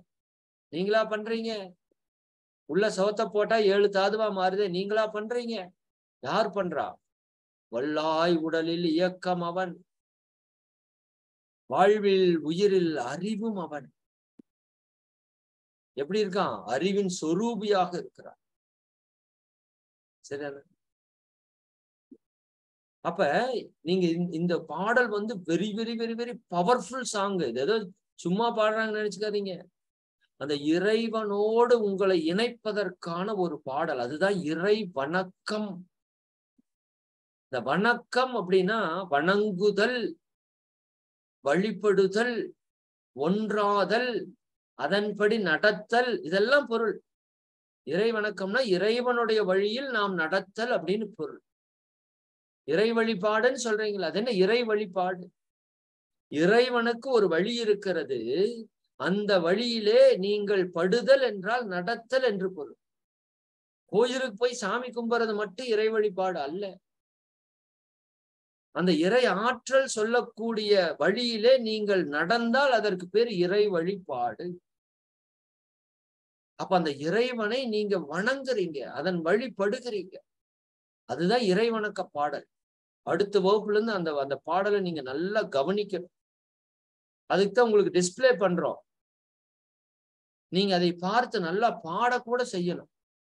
இந்த பாடலுக்குள்ள ஊறுப்பட்ட சத்தியங்கள் ஞானங்கள் புதஞ்சிருங்க. எனக்கு தெரிஞ்சு இந்த ஒரு பாட்டு உங்களுக்கு புரிஞ்சாலே உங்க வாழ்க்கையில எல்லா பிரச்சனைக்கும் தீர்வு தெரிஞ்சிடும் அவ்வளோ பெரிய பவர்ஃபுல் சாங் இது. ஒரு மாசத்துக்கு இந்த பாட்டு பாடு உங்களுக்கு மனப்பாடமே ஆயிரும் அதே மாதிரி குரு வணக்கத்தில் ஒரு பாடல். அறிவேதான் தெய்வம் என்றார் தாயுமானார். சரிதானுங்களா? அகத்ததுதான் மெய்ப்பொருள் என்று எடுத்துக்காட்டி அறிவதனை அறிவித்தார் திருவள்ளுவர். அவ்வறிவை அறிவதற்கு முறைகள் சொன்னார் அறிஞர் திருமூலர். அவ்வறிவில் ஆழ்ந்த ஆனந்த கவியாத்தார் ராமலிங்கர் எல்லா மகான்களையும் மகிழ்ச்சி அழைக்கிறார். தாயுமானவரை திருவள்ளுவரை திருமூலரை வல்லர் பெருமானை. சரி அதோட நிறுத்தல. இவங்க மட்டும் இல்ல அறிவில் அறிவாய் நிலைத்து அறம்பகுத்தோர் அனைத்து மகான்களையும். சரியா? நன்றியுணர்வோடு வணங்குகிறோம் இன்னொரு கவிதை சொல்றாரு. புத்தர் என்ற பெரியாரும் இயேசுநாதர். புத்தர் என்ற பெரியாரும் இயேசுநாதர். பொதுநோக்கில் கவி புனைந்த திருவள்ளுவர். பொது நோக்கில் கவி புனைந்த திருவள்ளுவர். உத்தமராம் நபிகளினும் உயர்ந்த ஞானி. நபிகளினும் உயர்ந்த ஞானி. மகிழ்ச்சி எழுதுற உண்மைக்கே உயிரளித்த சாக்ரட்டிஸ் நித்தியமாம் நிலையுணர்ந்த ஞானியர்கள் நிலவுலக மக்களுக்கு எடுத்து சொன்ன அத்தனையும் சேர்த்து ஒரு தொகுப்பாய் செய்தால் இந்த எல்லா மதத்துல சொன்ன மகான்களையும் சேர்த்து ஒரு தொகுப்பாய் செய்தால் அத்தனையும் ஒரே கருத்தா இருக்க காண்போம். எல்லாம் ஒரே கருத்து தான்ப்பா மாத்தி மாத்தி யாருமே சொல்லல. எல்லாம் ஒரே கருத்து தான் சொல்றாங்க. இறைவனை நோக்கி செல்லுங்கள். யாருக்கும் துன்பம் கொடுக்காதீங்க. முடிஞ்ச வரைக்கும் நல்லது செய்யுங்க. ஒழுக்கத்தை கடைபிடித்து வாழுங்கள். உங்களுடைய கடமையை சரியாக செய்யுங்கள். முடிந்த வரைக்கும் பிறருக்கு ஈகை செய்யுங்கள். இதை தவிர எந்த மதத்துல என்ன விஷயம் இருக்கு? ஏன்னா நீங்க அந்த கவிய வந்து ஆஹ் ஆஹ் ஒரு மதம் சார்ந்ததை எடுத்துடக்கூடாது அதுக்காக நான் சொல்றேன். மகரிஷி வந்து சர்வ மதத்தையும் இணைத்த ஒரு மகான். புரிதல் இல்லைங்களா? அப்ப நீங்க நல்லா புரிந்து கொள்ள வேண்டிய விஷயம் என்னன்னா அந்த குரு வணக்கம் அப்படிங்கிறது அந்த குரு மகான்கள் எல்லாம் உங்க கூட இணையறதற்கான ஒரு செயல் நடக்கும். வணங்குதல் அப்படின்னா ஒன்றாதல் ஒன்றுபடுதல் அப்படின்னு அர்த்தம் சொன்னேன்ல. அப்ப நாங்க நீங்க இறைவனோடு இணைவதற்கான ஒரு பாடல் வந்து இறை வணக்கம் நீங்க குரு மகான்களோடு இணைவதற்கான ஒரு பாடல் வந்து குரு வணக்கம் நீங்க அந்த கண்களை மூடி அந்த இறைவணக்கம் குருவணக்கத்தை அப்படியே உணர்ந்து பாருங்க. அப்படியே அந்த குரு மகான்களும் இறை ஆற்றல் அப்படியே உங்களோட இணையறத நீங்க உணர முடியும். சத்தியமா முடியும். அது நீங்க பக்தி மார்க்கத்துல ஆழ்ந்த ஈடுபாடா இருந்தீங்கன்னா இம்மீடியட்டா நீங்க ஃபீல் பண்ண முடியும். அந்த மகான்கள் எல்லாம் காத்துக்கிட்டு இருக்காங்க. நம்மளை யாரா நினைக்குவாங்க? யாருக்குடா நம்ம நல்லது செய்யலாம்? யாருடைய கர்மாவை எல்லாம் போக்குறதுக்கு நம்ம உதவி செய்யலாம்னு மகான்கள் காத்துக்கிட்டு இருக்காங்க. நாம் அவங்கள நினைக்கிறதே இல்லை பெருசா. கடவுளும் காத்துட்டு இருக்காரு. கடவுள்கிட்ட நம்ம வேண்டுதல் மட்டும்தான் வைக்கிறோமே தவிர நமக்கு அந்த நன்றி உணர்வே இல்லாம போயிடுச்சு. அதனாலதான் நம்ம முதல் தவமா நன்றி உணர்வு தவத்தை இவ்வளவு தூரம் நம்ம வந்து வழி நடத்திட்டு இருக்கிறோம். சரியானுங்களா அதே மாதிரி வல்லாய் உடலில் இயக்கம் அவன் வாழ்வில் உயிரில் அறிவும் அவன் சொன்னதுல அடுத்த லைன்ல சொல்றாரு. கல்லார் கற்றார் செயல் விலை வாய் எதுவாமாங்க? நீ படிச்சவனோ படிக்காதவனோ அதை பத்தி கடவுளுக்கு கவலை கிடையாது. கல்லார் கற்றார் செயல் விளைவாய். செய்யற செயலுக்கு விளைவாய். காணும் இன்ப துன்பம் அவன். என்னவாமாங்க? நீங்க படிச்சவங்களோ படிக்காதவங்களோ நல்லவங்களோ கெட்டவங்களோ உயர்ந்தவங்களோ தாழ்ந்தவங்களோ ஏழையோ பணக்காரனோ அதெல்லாம் கிடையாது. நீங்க செய்யற செயலுக்கு விளைவாக கல்லார் கற்றார் செயல் விளைவாய் காணும் இன்ப துன்பம் அவன். இந்த வரி மட்டும் உங்க மனதில் அப்படியே பசுமரத்தாணி மாதிரி நிறுத்திக்கோ. செயலுக்கு விளைவாக இன்பத்தையும் துன்பத்தையும் கொடுப்பவன் இறைவன். இறைவன் இன்பத்தை மட்டும் கொடுப்பான்னு நினைச்சுக்காதீங்க. துன்பத்தையும் கொடுப்பான். எதற்காக? நீங்கள் மீண்டும் அந்த துன்பத்திலே சிக்கக்கூடாது என்பதற்காக. சரிங்களா இப்ப நல்லா புரிஞ்சுக்கோங்க இறைவனுக்கு நமக்கு என்ன தொடர்பு? நீங்கள் செயலை செய்தால் இறைவன் விளைவை கொடுப்பான் செயலிலே விளைவாக தெய்வ ஒழுங்கமைப்பு இருக்க. மகிழ்ச்சி கேட்கிறாங்க சொல்றாங்க. நீங்க செய்யற செயலுக்கு விளைவாக தெய்வ ஒழுங்கமைப்பு இருக்க. பயன் என்ன? பயன் என்ன? தவறிழைத்து பரமனை பின் வேண்டுவதால். நீங்க செய்யற செயலுக்கு விளைவாக இறைவன் வர்றதாங்க. அவன் தான் விளைவை கொடுக்குறான். ஆனா நாம் என்ன பண்றோமாமா? தப்பு செஞ்சு போட்டு இறைவன்கிட்ட போய் இறைவா என்னை எப்படியாச்சும் காப்பாத்துன்னு கேக்குறமே. இறைவனுக்கு அது பண்ண முடியாது. சரிதானுங்களா? அப்ப இறைவனுக்கு நமக்கு உள்ள தொடர்பு என்ன? நீங்கள் செயல் செய்தால் இறைவன் விளைவை கொடுப்பான். நாலு இட்லி சாப்பிட்டீர்கள் அப்படின்னு ஒரு செயலை செஞ்சீங்கன்னா இறைவன் உங்க வயிற்றுக்கு நிறைவு என்கின்ற ஒரு இன்பத்தை விளைவாக கொடுப்பான். இல்ல சார் சட்னி சாம்பார் நல்லா இருக்குது. விட்டு விளாசு வந்து ஏழு இட்லி சாப்பிட்டீங்கன்னா இறைவன் உங்களுக்கு வயிற்றிலே வழி என்கின்ற துன்பத்தை கொடுப்பான். செயல் உங்களுடையது விளைவு அவனுடையது. சரியாங்களா? உங்களுக்கு இன்பம் வேண்டும் என்றால் நாலு இட்லியோட நிறுத்துங்க. துன்பம் வேண்டும் என்றால் ஏழு இட்லி சாப்பிடுங்க. செயல் உங்ககிட்ட இருக்கு. விளைவை மாற்ற முடியாது. சரிங்களா? விளைவை நீங்க விருப்பப்படி வர வச்சுக்க முடியும். எனக்கு இன்பம் தான் வேணுமா? அப்ப செயலை கரெக்ட் பண்ணுங்க. இல்ல சார் நான் செயலெல்லாம் தப்பு பண்ணுவேன். ஆனா நல்லது மட்டும் வரணும் சார் வாய்ப்பு இல்ல ராஜா. வாய்ப்பே இல்லை. புரியுதானுங்களா சரிதானே? ஏழு இட்லி சாப்பிடுவேன். எனக்கு வயிற்று வலியே வரக்கூடாது கடவுளே. வாய்ப்பே இல்லை. நல்ல புகைப்பிடிப்பார் ஒருத்தர். நல்ல பக்திமான். பட்டை கொட்டை எல்லாம் போட்டு சிவபெருமான் வழிபாடு. ஆனா புகைப்பிடிக்கிறார். இறைவா எனக்கு எந்த நோயும் வரக்கூடாது. காப்பாத்திடுவாரா உங்க இறைவன்? சொல்லுங்க காப்பாத்திடுவாரா? கொரோனால போட்டு தெளிவார் புரியுதானுங்களா அதாவது நான் செயல் செய்யறத மாத்த மாட்டேனாமா? ஆனா விளைவு மட்டும் நல்லா வரணுமாமா? எப்படிங்க? நீங்க எதை விதைக்கிறீங்களோ அதுதானே முளைக்கும். சரிதானே? நீங்க எதை விதைக்கிறீங்களோ அதுதானே முளைக்கும். அதைத்தான் நான் முதல்ல சொன்னேன். வினை விதைத்தவன் வினை அறுப்பான். தினை விதைத்தவன் தினை அறுப்பான். இது இறைவனுடைய சட்டம். இறை நீதி. புரியுதுங்களா நல்லா நீங்க கவனமா இந்த சிந்தனையை ஆழ்ந்து ஒண்ணுக்கு பத்து முறை நீங்க போட்டு கேட்கணும். புதிய அன்பர்களா இருந்தா. சரிதானுங்களா அப்ப கடவுளுக்கு நமக்கு உள்ள தொடர்பு நீங்கள் செயலை செய்தால் இறைவன் விளைவை கொடுப்பான். இறைவனுக்கு செயலிலே அவன் வந்து எந்த இடத்துலயும் உங்களை தடுக்க மாட்டான். நீ என்ன வேணா செஞ்சுக்கோ. முழு சுதந்திரம் உனக்கு. என்ன வேணா செஞ்சுக்கணும் நல்லது செய்யறியா கெட்டது செய்யறியா அடுத்தவங்களுக்கு துன்பம் கொடுக்கறியா அடுத்தவங்களுக்கு துன்பத்தை போக்குறியா என்ன வேணா செஞ்சுக்கோ. ஆனா என்ன செஞ்சாலும் விளைவு வரும் மறக்காம இருந்துக்கோ. கைய தட்டினா சத்தம் வரும். நீங்க போய் கடவுள்கிட்ட கேளுங்களேன் பாப்பா கை இறைவா நான் கையை தட்டுற சத்தம் வராம பண்ணிரு. வாய்ப்பே கிடையாது. இறைவன் சொல்லிட்டான் செயலை செஞ்சா விளைவு வரும்பா. சரியா? அப்ப உனக்கு விளைவு நல்லதா வேணும்னா செயலை மாத்து. செயலை மாத்து. சரிதானுங்களா அப்ப செயலுக்கு தான் விளைவு. இனிமேல் இறைவன்கிட்ட போய் இதை கூட அதை கூடன்னு கேட்காதீங்க.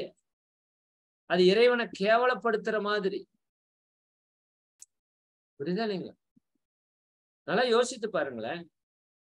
ஒரு குழந்தை அம்மாட்ட வந்து எனக்கு பால் ஊத்தி கொடுமான்னு கேட்டா அது அம்மாவை கேவலப்படுத்துற மாதிரி. ஏன்னா அந்த அம்மா அந்த குழந்தைக்கு அத்தனையும் பக்காவா செஞ்சு வச்சிட்டு இருக்காங்க அதுகிட்ட வந்து கேட்கற மாதிரி அந்த அம்மா வச்சுக்க மாட்டாங்க. வச்சுக்கிட்டா அது அந்த அம்மாவுக்கு அவமானம். புரியுதா இல்லைங்களா? அப்ப இறை சக்தி நல்லா யோசித்து பாருங்க. நாம பிறக்கிறதுக்கு முன்னாடியே நமக்கான சாப்பாடு நமக்கான தண்ணி உணவு வகை உடைகள் எல்லாத்தையும் வச்சுதான் நம்மளை படைச்சிருக்கான். அவன் எவ்வளவு அன்பும் கருணையுமா இருப்பான். மனுஷனுக்கு சுவாசிக்கிற ஆக்சிஜன் வேணும்னு நம்மள மாதிரி சாப்பாடுக்கு விருந்தாளி வந்ததுக்கு அப்புறமா சமைச்சு வைக்கிறோம். ஆக்சிஜன் வேணும்னு பல ஆயிரம் முன்னா வருஷத்துக்கு முன்னாடியே ஆக்சிஜனை படைச்சு வச்சுட்டானே.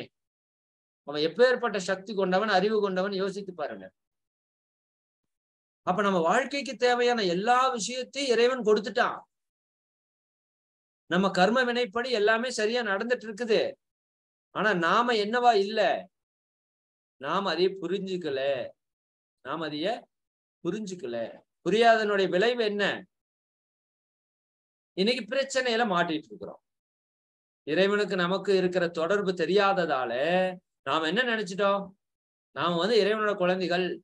என்ன தப்பு செஞ்சாலும் இறைவன் மன்னிச்சிருவான் மறந்துடுவான் நம்மளை காப்பாத்திடுவான் வாய்ப்பே கிடையாது. வாய்ப்பே கிடையாது. இறைவனுக்கு அந்த வேண்டுதல் வேண்டாமை எல்லாம் கிடையாது. விருப்பு வெறுப்பெல்லாம் கிடையாது. சரிங்களா தம் அடிச்சியா நுரையீரல்ல நோய் வரும். நீ என்னை கும்பிட்டாலும் சரி கும்பிடலினாலும் சரி. இப்ப இறைவனை கும்பிடாம எத்தனையோ நாஸ்திகர்கள் இருக்காங்க இல்லையா? இறை வழிபாடே பண்ணாதவங்க. அவங்க எல்லாம் என்ன கெட்டு போயிட்டாங்களா? செத்து போயிட்டாங்களா? புரியுதா கடவுள் இல்லைன்னு சொன்னார் பெரியாரு. அவர் என்ன வாழ்ந்துதானே போனாரு? ஏன்? ஏன்னு கடவுள் தன்னை துதிக்கணும்னு யாரையும் விரும்பல. நீங்க வந்து என்னை வழிபட்டாதான் நான் உங்களுக்கு நல்லது செய்வேன்னு ஏதாவது கடவுள் சொல்லுவாரா? சொல்லுங்க. நீங்க ஒரு அம்மா உங்க குழந்தைக்கு நீ எனக்கெல்லாம் நல்லது செஞ்சாதான் உனக்கு சோறு போடுவேன்னு சொல்லுவீங்களா? சாதாரண மனுஷனே அப்படி சொல்ல மாட்டானே. என் குழந்தைய பாத்துக்கிறது என் பொறுப்பு நல்லா பாத்துக்கிறீங்க சரியானா இல்ல நீ என்னை பாராட்டி பேசினாதான் நான் உன்னை பாத்துக்கணும் உங்க அப்பா சொல்லுவாரா? சொல்ல மாட்டாரே. அப்ப நம்மளுக்கே அந்த பாராட்டோ நம்மளுக்கு அந்த வேலை செய்யணும்னா எண்ணம் இல்லைன்னா இறைவனை நீங்க போய் பாராட்டினா தான் இறைவன் உங்களுக்கு நல்லது செய்வான்னு ஏதாவது இருக்கா? கிடையாது. கிடையாது. அப்ப என்னப்பா கோயிலுக்கு போக வேண்டாம்னு சொல்றியா கோயிலுக்கு போகணும். கண்டிப்பா போகணும். ஆனா எதுக்கு போறேன்னு தெரிஞ்சு போகணும். எதுக்கு போறீங்க கோயிலுக்கு? இறைவனுக்கு நன்றி சொல்ல போகணும். இத்தனை கொடுத்திய இறைவா நன்றி இறைவா நன்றி இறைவா. இன்னும் ஒன்னு ரெண்டு பிரச்சனைகளும் இருக்குது எனக்கு. அது என்னோட கர்ம வினையால வந்திருக்கு. அது எனக்கு தெரியுது புரியுது. அதை போக்குறதுக்கு உன்னுடைய சக்தி கொடு இறைவா ஆற்றலை கொடு. அதை நீக்கிறதுக்கான அறிவு கொடு ஆற்றலை கொடு. அதை நானே செயல் செஞ்சு நீக்கிக்கிறதுக்கான வல்லமை கொடு வலிமை கொடு. இதை கேளுங்க. இதை விட்டுட்டு போய் இன்னும் அதை கொடுக்கல இதை கொடுக்கல அது போயிடுச்சு இது போயிடுச்சு புலம்பல். சரிதானே? நல்லா புரிஞ்சுக்குங்க. இன்னொன்னு இந்த பிச்சைக்காரன் ஒரு படம் பாத்தீங்களா நீங்க? செகண்ட் பார்ட் வந்தது அதல்ல ஃபர்ஸ்ட் பார்ட் அதுல அவங்க அம்மாவுக்கு உடம்பு சரியில்லாம போயிடும் சரியானுங்களா? புவனேஸ்வரி அம்மா நினைக்கிறேன் அந்த அம்மா பேரு. மிகப்பெரிய கோடீஸ்வரன் அவன். மிகப்பெரிய கோடீஸ்வரன் தமிழ்நாட்டுல. கோடி கோடியா பணம் இருக்கு அவங்ககிட்ட அவங்க அம்மாவுக்கு ஒரு ஆக்சிடென்ட் ஆகி அவங்க அம்மா உயிருக்கு போராடிட்டு இருப்பாங்க. அப்ப ஆஸ்பத்திரியில காப்பாத்துற சூழல் இல்லைன்னு சொல்லுவாங்க. அப்போ ஒரு சாமியாரை போய் அந்த ஹீரோ பாப்பா அப்படி பாக்குறப்ப அந்த சாமியார் சொல்லுவாரு உன்னோட கர்ம வினை ரொம்ப அதிகமா இருக்குப்பா. அந்த கர்ம வினையை போக்குறதுக்கு ஒரு நாற்பத்தி எட்டு நாள் நீ போய் பிச்சை எடுக்கணும். நீ யார் என்னன்னு தெரியக்கூடாது. நீ ஒரு பிச்சைக்காரனா வாழணும். அதுல வர்ற காசுல தான் நீ வாழணும். இது யாருக்கும் சொல்லவும் கூடாதுன்னு சொல்லிடுவாங்க அப்ப அந்த ஹீரோ விவரமும் ஒரு விஷயம் கேட்பாரு என்ன கேட்பாரு தெரியுமா? சாமி முதல்ல எங்க அம்மாவை சரிப்படுத்திடுங்க அப்புறம் நான் பிச்சை எடுக்கிறேன் அப்படிம்பாரு. விவரம் பாத்தீங்களா நம்மால் அப்படித்தான் சரிதானா? நீ இது செய்யப்பா நான் அதை செய்யறேன்னு சொன்னா இறைவன் இல்ல நீ முதல்ல செய்யப்பா நான் அப்படி அங்க ரூல்ஸ் கிடையாது. இறைவனோட சாம்ராஜ்யத்துல கிவ் அண்ட் டேக் பாலிசி தான். டேக் அண்ட் கிவ் பாலிசி கிடையாது. இறைவன் போய் இறைவா எனக்கு நூறு நெல்லு கூட அப்படின்னா நீ ஒரு நெல்லை விதைப்பா நூறு நெல்லை கொடுக்குறம்மா. இல்ல இல்ல இல்ல நீ நூறை கூட அப்புறம் அதுக்கு வாய்ப்பு இல்லப்பா இங்க.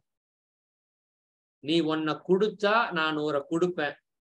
நூறு வேணும்னா நீ உன்னை கொடு. கொடுத்தா வரும் கொடுக்காம வராது.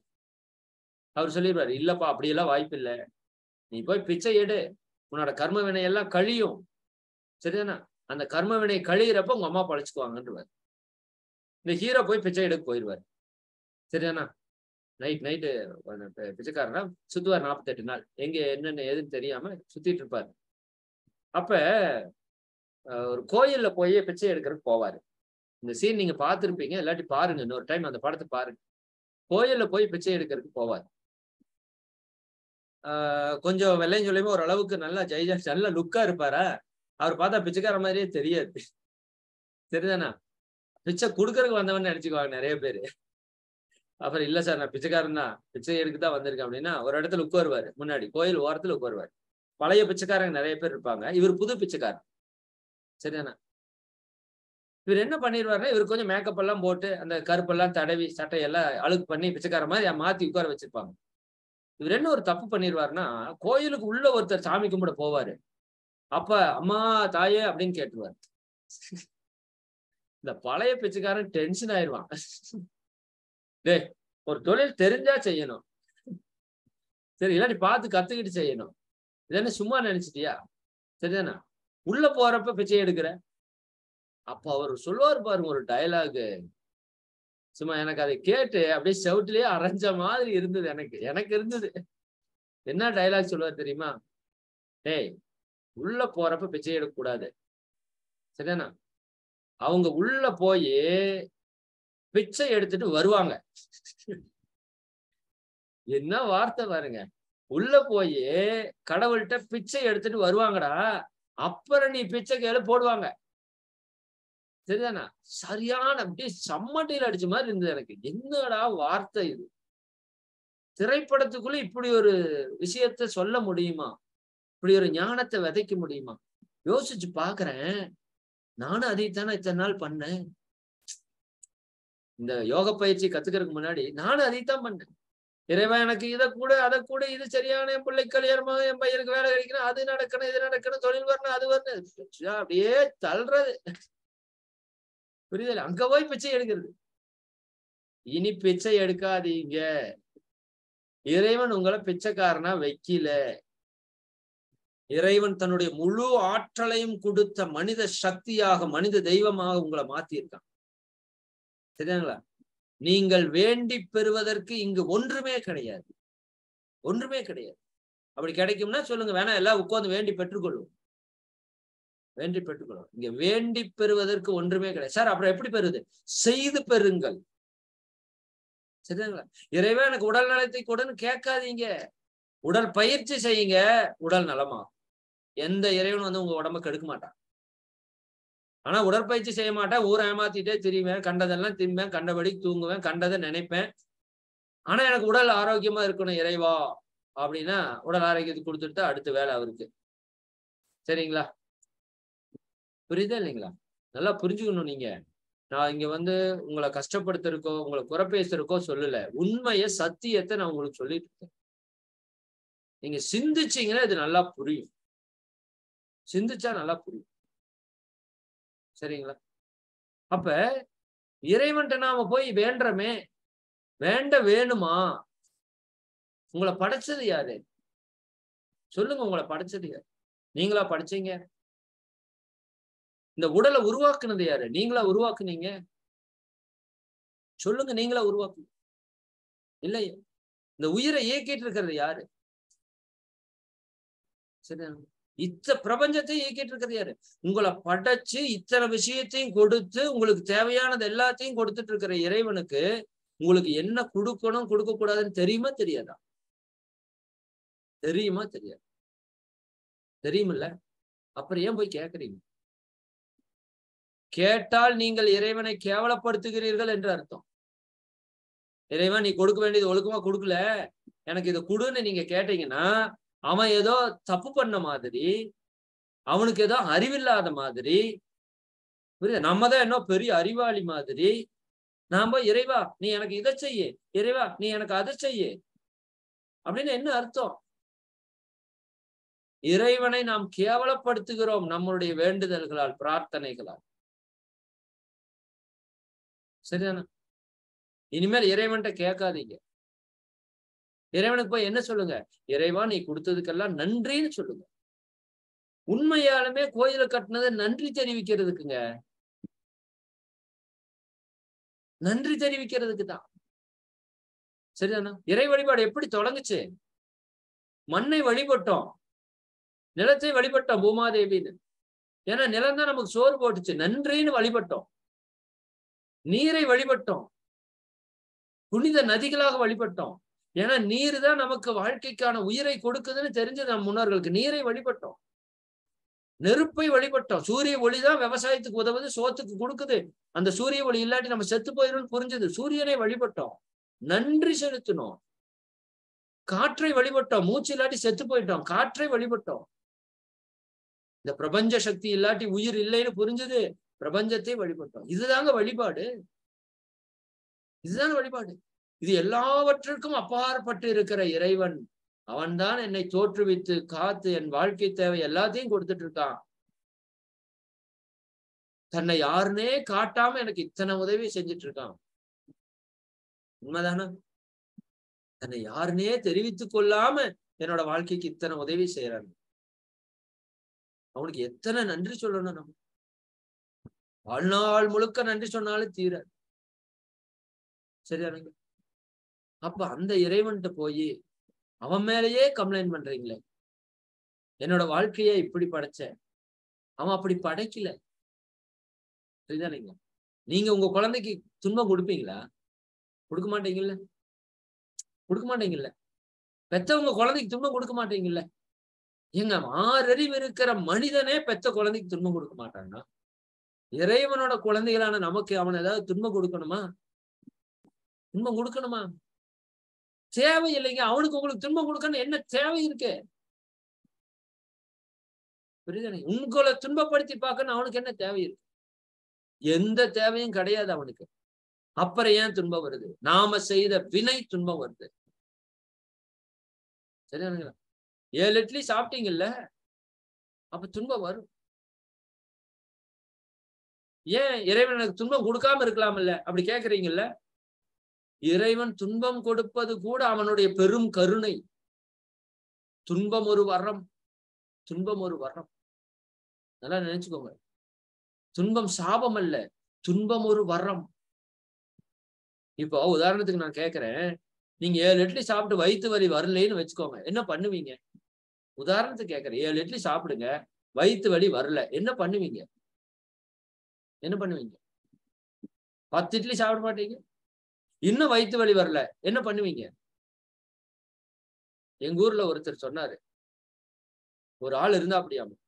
எங்க ஊர் மலைப்பாளையம். இந்த ஈரோடு டிஸ்ட்ரிக்ட் திருப்பூர் பக்கத்தால. சொந்த ஊர் வந்து மலைப்பாளையம். அங்க ஒரு ஆள் இருந்தாராம். அந்த ஆள் என்ன பண்ணுவார் தெரியுங்களா? அந்த மாம்பழ சீசன்ல மாம்பழ சீசன்ல பத்து கிலோ மாம்பழத்தை வாங்கி வச்சுக்குவாராமா. மாம்பழமா சாப்பிடுவாராமா. அவ்வளவு ஆசை. மாம்பழமா சாப்பிடுவாராமா. சரி சாப்பிட்டு விட்டுருவாருன்னு நினைச்சிட்டீங்களா? ஃபுல்லா வயிறு வலிக்கு சாப்பிடுவாராமா? சாப்பிட்டுட்டு விட்டா கூட பரவாயில்லை ஒரு விதத்துல. என்ன பண்ணுவார் தெரியுமா? அந்த பக்கம் போய் கைய உள்ள விட்டு வாந்தி எடுப்பாராம். வாந்தி எடுத்துட்டு மறுபடியும் வந்து சாப்பிடுவாராம்.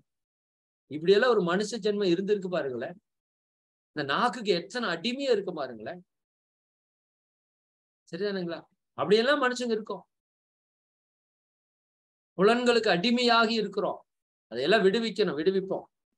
அப்ப என்ன நான் சொல்ல வந்தேன்? துன்பம் இறைவன் கொடுக்கலைன்னா என்ன ஆகும்? பத்து இட்லி சாப்பிட்டாலும் உங்க வாயில வந்து ருசிக்கு நீங்க அடக்கம் கொடுக்கலைன்னா பதினஞ்சா சாப்பிடுவீங்க. அப்போ அடங்காது. வழி வரலைன்னா இருபதா சாப்பிடுவீங்க. அப்போ அடங்காது. அப்புறம் வயிறு வெடிச்சு செத்து போயிருவீங்க. உண்மையான்னு பாருங்க. இறைவன் துன்பத்தை கொடுக்கலைன்னா என்னங்க ஆயிருக்கும்? வாழ்க்கையே அழிஞ்சு போயிடும் நம்ம வாழ்க்கைய. சரிதானா? இறைவன் எதுக்காக துன்பத்தை கொடுக்குறான்? தம்பி இந்த அளவுக்கு மேல போனா உனக்கு இன்னும் பெரிய பிரச்சனை ஆயிரும். அதனால அந்த துன்பத்தை கொடுத்து உங்களுக்கு அவேர்னஸ் கொடுக்குறான். அப்ப அடுத்த தடவை நீங்க என்ன பண்றீங்க?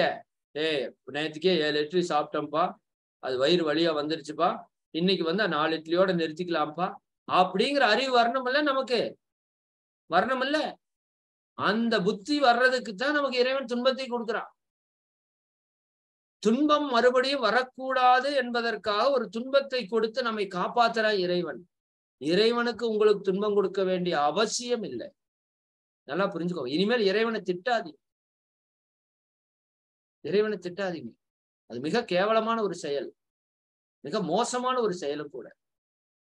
இத்தனை நல்லதையும் செஞ்சு வச்சுட்டு அவனுக்கு திட்டு வாங்கணும்னு ஏதாவது தேவை இருக்கா? தேவை இருக்கா சொல்லுங்க. ஒரு அம்மா ஒரு குழந்தைக்கு பார்த்து பார்த்து செய்யறாங்க ஒரு அப்பா ஒரு குழந்தைக்கு உசுர கொடுத்து உழைச்சு பார்த்து பார்த்து செய்யறாரு அந்த குழந்தை எப்ப பார்த்தாலும் அந்த அம்மாவை அப்பாவையும் திட்டிகிட்டே இருந்தா எப்படி இருக்கும் அதுக்கு. சொல்லுங்க நீங்க எப்படி இருக்கும் உசுர கொடுத்து உழைக்கிறாருங்க அப்பா. அம்மா காலையில் நாலு மணி அஞ்சு மணிக்கு எந்திரிச்சு என் குழந்தைக்கு சாப்பாடு செய்யணும் ஸ்கூலுக்கு போகணும் அது படிக்கணும் அதை பண்ணணும் இதை பண்ணணும் அத்தனை கஷ்டப்படுறாங்க. எதுக்காக? என் குழந்தை நல்லா இருக்கணுங்கிறதுக்கா அந்த குழந்தை எதுக்கு எடுத்தாலும் இதெல்லாம் என்னமா சாம்பாரு? என்னமா துணி துவைச்சிருக்கிற? என்னப்பா உங்களுக்கு? இது கூட எனக்கு வாங்கி கொடுக்க முடியலையாப்பா? அப்புறம் எதுக்கு என்ன எல்லாம் பெற்றீங்க இப்படி எல்லாம் பேசுனா அந்த குழந்தை மேல உங்களுக்கு அன்பு வருமா? அன்பு வருமான்னு கேட்கறேன். எரிச்சல் தானே வரும். சரி அதே மாதிரிதான். உங்களுக்கு நீங்க செய்யற நல்லதுக்கு உங்க குழந்தை பாராட்டாம இருந்தா கூட பரவாயில்ல. சரிதானா? பாராட்டாம இருந்தா கூட பரவாயில்ல. திட்டாம இருக்கலாம்ல நீங்க இறைவனுக்கு நன்றி சொல்லணும் பாராட்டணும்னு கூட வேண்டாங்க. திட்டாமாவது இருங்க. சரிதானா? ரொம்ப கொடுமையா போயிட்டு இருக்கு இறைவனோட நிலை. நல்லா புரிஞ்சுக்கோங்க. இறைவன்ட்டு இனிமேல் போய் எதையும் வேண்டாதீங்க. வேண்டுதலைத்தான் நான் பிச்சை எடுத்தல் என்று சொல்லுகிறேன். ரெண்டு ஒண்ணுதான். வேண்டுதல் யாசகம் கேட்டல் பிச்சை எடுத்தல் எல்லாம் ஒண்ணுதான். இறைவனுக்கு தெரியும். உங்களை படைச்சு உங்களுக்கு உயிரை கொடுத்து உங்களுக்கு ஹார்ட் லங்ஸ் எல்லாத்தையும் கொடுத்து எல்லாத்தையும் கொடுத்த இறைவனுக்கு உங்களுக்கு என்ன கொடுக்கணும் எப்ப கொடுக்கணும் எவ்வளவு கொடுக்கணும் யார் மூலியமா கொடுக்கணும்? எல்லாம் தெளிவா தெரியும் தெளிவா தெரியும் புரியுதா இல்லைங்களா? நீங்க போய் வேண்டி பெறுவதற்கெல்லாம் இங்க ஒண்ணுமே இல்லை. செய்து பெறுங்க. இறைவன் தன்னுடைய முழு ஆற்றலையும் மனுஷங்கிட்ட கொடுத்துருக்கான். அதனாலதான் இறைவனை உணர்வதற்கான தகுதி இந்த உலகத்திலே மனிதனை தவிர வேற எந்த உயிருக்கு கிடையாது. முழு தகுதி உங்களுக்கு இறைவனுடைய முழு சக்தி நம்மகிட்ட இருக்கு. நீங்க நினைச்சா என்ன வேணா நடக்கும். உங்க எண்ணங்கள் தான் இறைவன் கொடுத்த மாபெரும் சக்தி. உங்கள் மனம் மிகப்பெரிய மந்திர சக்தி. சரி இறைவனே உங்கள் மனமாக மாறி உங்க வாழ்க்கைக்கு தேவையான எல்லா வளங்களையும் கொடுக்கறதுக்காக வந்திருக்கிறான் அந்த மனதை சரியாக பயன்படுத்தினால் நீங்க யாருகிட்டையும் கேட்க வேண்டாம். உங்க வாழ்க்கைக்கு தேவையான வளங்களை நீங்களே பெற்றுக்கொள்ள முடியும். அதனாலதான் மனம் போல் வாழ்வு என்று சொன்னார். ஆனால் அந்த மனதை பயன்படுத்த தெரியல பக்குவப்படுத்த தெரியல தவறாக பயன்படுத்தி பல துன்பங்களை ஏற்படுத்தி இன்னைக்கு துன்பத்திலே உழண்டு கொண்டிருக்கிறோம். கடவுள் மேல பழைய போடும் சரிதானுங்களா? அப்ப இன்று முதல் கொண்டு புரிந்து கொள்ளணும். என்ன புரிந்து கொள்ளணும்? என்னுடைய வாழ்க்கைக்கு நானே பொறுப்பு. நான் செய்கின்ற எல்லா செயலுக்கும் இறைவன் விளைவை கொடுக்கிறார். அப்ப எனக்கு நல்ல விளைவு வருதுன்னா நான் செய்த நல்ல விளைவுக்கு நல்ல செயலுக்கு இறைவன் நல்லதை கொடுத்திருக்கிறார். எனக்கு ஒரு கெட்ட விளைவு வருது என்றால் நான் செய்த தவறுக்கு இறைவன் எனக்கு ஒரு துன்பத்தை கொடுத்திருக்கா இறைவா நன்றி. இறைவா நன்றி. நன்றியை தவிர சொல்வதற்கு ஒன்றும் இல்லை ஒரு ஒரு ஞானி இப்ப உங்களுக்கு எதனால கதை சொன்னா தானே புரியும். ஒரு ஞானி. ஒரு கிராமத்தில் இருக்கார். மிகப்பெரிய ஞானி கிராமத்தில் இருக்கார். ஆஹ் அந்த ஊர்ல பள்ளிக்கூடம் இல்லை. அந்த கிராமத்துல பள்ளிக்கூடம் இல்லை. குழந்தைங்க ரொம்ப தூரம் போய் பள்ளிக்கூடத்துக்கு படிக்கிறதா இருக்கு. ஆனா அந்த நாட்டை ஒரு இஸ்லாமிய மன்னர் ஆண்டுட்டு வர்றாரு. அந்த இஸ்லாமிய மன்னருக்கு இந்த ஞானி மேல மிகப்பெரிய அன்பு மிகப்பெரிய பக்தி. அவர் மிகப்பெரிய ஞானி. அது எல்லாருக்குமே தெரியும். மக்களுக்கும் தெரியும். எல்லாருக்குமே தெரியும். இப்ப அந்த ஞானி கிட்ட மக்கள் எல்லாம் வந்து ஒரு வேண்டுதல் வைக்கிறாங்க. சாமி நீங்க எங்களுக்கு ஒரு ஹெல்ப் பண்ணணும். ராஜா உங்க மேல மிகப்பெரிய மரியாதை வச்சிருக்காரு. நீங்க என்ன செஞ்ச சொன்னாலும் பண்ணி கொடுப்பாரு. நம்ம ஊர் குழந்தைகள்லாம் படிக்கிறதுக்கு ரொம்ப தொலைவா போக வேண்டியதா இருக்கு. சரிதானுங்களா? நம்ம ஊர்ல ஒரு பள்ளிக்கூடம் அமைஞ்சா நல்லா இருக்கும் அப்படின்னு சொல்லி சொல்றாங்க. ஞானி சிந்தித்து பார்க்கிறார். சரிதான். சரி நான் மன்னர்கிட்ட பேசுறேன். ராஜாட்ட பேசுறேன்னு சொல்லிட்டு போறாரு. போறாரு. மணி தொழுகை நேரம். இஸ்லாமிய ராஜா இல்லையா? தொழுகை நேரத்துல தொழுதுட்டு இருக்காரு. அப்ப ஞானி உள்ள போறாரு அரண்மனையில. சரி இவர் ஞானின்னு தெரியும். மக்களுக்கு காவலாளிகளுக்கு எல்லாம் தெரியும். கூட்டிட்டு போய் உள்ள பக்குவமா உட்கார வச்சுட்டாங்க. உட்கார வச்சு உபசரணை எல்லாம் பண்றாங்க மன்னர் ஒரு ஐந்து நிமிடத்துல வந்துருவாருங்க சாமி. நீங்க வெயிட் பண்ணுங்கன்னு சொல்றாங்க. சாமி வெயிட் பண்றாரு. மன்னர் அங்க தொழுகை நடத்திட்டு இருக்காரு. தொழுகை நடத்திட்டு இருக்காரு. என்ன யோசிச்சாருன்னு தெரியல. இந்த ஞானி ஒரு ரெண்டு நிமிஷம் கழிச்சு எந்திரிச்சு திரும்பி கிராமத்தை நோக்கி நடக்கறக்க ஆரம்பிச்சிட்டாரு. மன்னரை பார்க்கவும் இல்லை. என்ன தேவைங்கிறது கேட்கவும் இல்லை. சரியானுங்களா திரும்பி கிராமத்தை நோக்கி நடக்கிறதுக்கு ஆரம்பிச்சிட்டாரு. இந்த தொழுகை முடிச்சுட்டு ராஜா வந்ததுக்கு அப்புறம் இந்த காவலர்கள் இதை சொல்றாங்க. சொன்னோன்னையும் அந்த மன்னருக்கு ஒரு பெரிய அதிர்ச்சி. இவ்வளோ பெரிய ஞானி. என்னை பார்க்கறதுக்கு இது வரைக்கும் வந்ததில்லை. நான் தான் போய் அவரை பார்த்துருக்கேன். இன்னைக்கு என்னை பார்க்கறதுக்காக வந்திருக்காருன்னு சொல்றீங்க. அப்புறம் ஏதோ ஒரு காரணத்துலதான் வந்திருப்பாரு. ஆனா திரும்பி போயிட்டாருன்னு சொல்றீங்களே ஏன் அவரை விட்டீங்க? இருக்கு சொல்லியிருக்கலாமே? நான் எவ்வளவோ சொல்லி பார்த்தேங்க. ராஜா அவர் இருக்குல்ல இவருக்கு அப்படியே படபடப்ப கிளம்பி தேர் எடுத்துட்டு போறாரு. போனா கொஞ்சம் தூரத்துல இந்த சாமி நடந்து போயிருக்கு. சாமி நில்லுங்க. ஏதாவது தப்பு பண்ணியிருந்தா மன்னிச்சிருங்க. நீங்க ஏன் வந்துட்டு என்னை பார்க்காமயே போறீங்க? நான் என்ன தப்பு பண்ணேன்? ஐயோ நீ எல்லாம் ஒரு தப்பும் பண்ணலப்பா. நான் எங்க ஊருக்காக ஒரு வேண்டுதலுக்காக வந்தேன். சரிங்களா? ஒரு விஷயம் நீ சொன்னா பண்ணி கொடுக்கலாம் அப்படின்னு கேட்க சொன்னாங்க. நான் அதுக்காக வந்தேன். ஆனா நீ தியானம் பண்ணிட்டு இருந்த தொழுகை பண்ணிட்டு இருந்த. அது ஞானிகளுக்கு தெரியும் இல்லையா ஞானிகள் வந்து ஞானத்திலேயே நீங்க என்ன நினைக்கிறீங்க நான் என்ன நினைக்கிறீங்க எல்லாமே கண்டுபிடிக்க முடியும். ஏன்னா அவங்களோட மைண்ட் சக்தி அவ்வளவு சக்தி. அது எப்படின்னு பின்னாடி சொல்றேன் அப்போ நான் உங்கள்கிட்ட ஒன்று கேட்கலான்ட்டு வந்தப்பா ஆனா நீயே அங்க பிச்சை எடுத்துட்டு இருந்த. தொழுகையில் அவர் என்ன பண்ணியிருக்கார் ராஜா? பிச்சை எடுத்துட்டு இருக்கார். அல்லா எனக்கு இவ்வளவு பெரிய சாம்ராஜ்யத்தை கொடுத்ததுக்கு நன்றி. இன்னும் என்னுடைய சாம்ராஜ்யத்தை நீ வந்து பெருசு பண்ணணும் அப்படின்னு கேட்குற என்னுடைய கஜானாவை நிரப்பியதற்கு நன்றி. இன்னும் எனக்கு நிறைய செல்வ வளங்களை கொடுக்கணும் அப்படின்னு அல்லாஹிட்ட கேட்டிருக்க அப்ப ஞானி சொல்றாரு நீயே கடவுள்கிட்ட பிச்சை எடுத்துட்டு இருக்க. நான் வந்து உங்ககிட்ட ஒண்ணு கேட்கறது வந்து சரியா இல்லப்பா அப்படின்னு சொன்னாராம். இது எவ்வளோ பெரிய ஞானம்ங்கிறத நீங்க சிந்திச்சு பார்த்தா உங்களுக்கு புரியும். சரி மிக்க மகிழ்ச்சி. இன்றிலிருந்து பிச்சை எடுப்பதில்லை.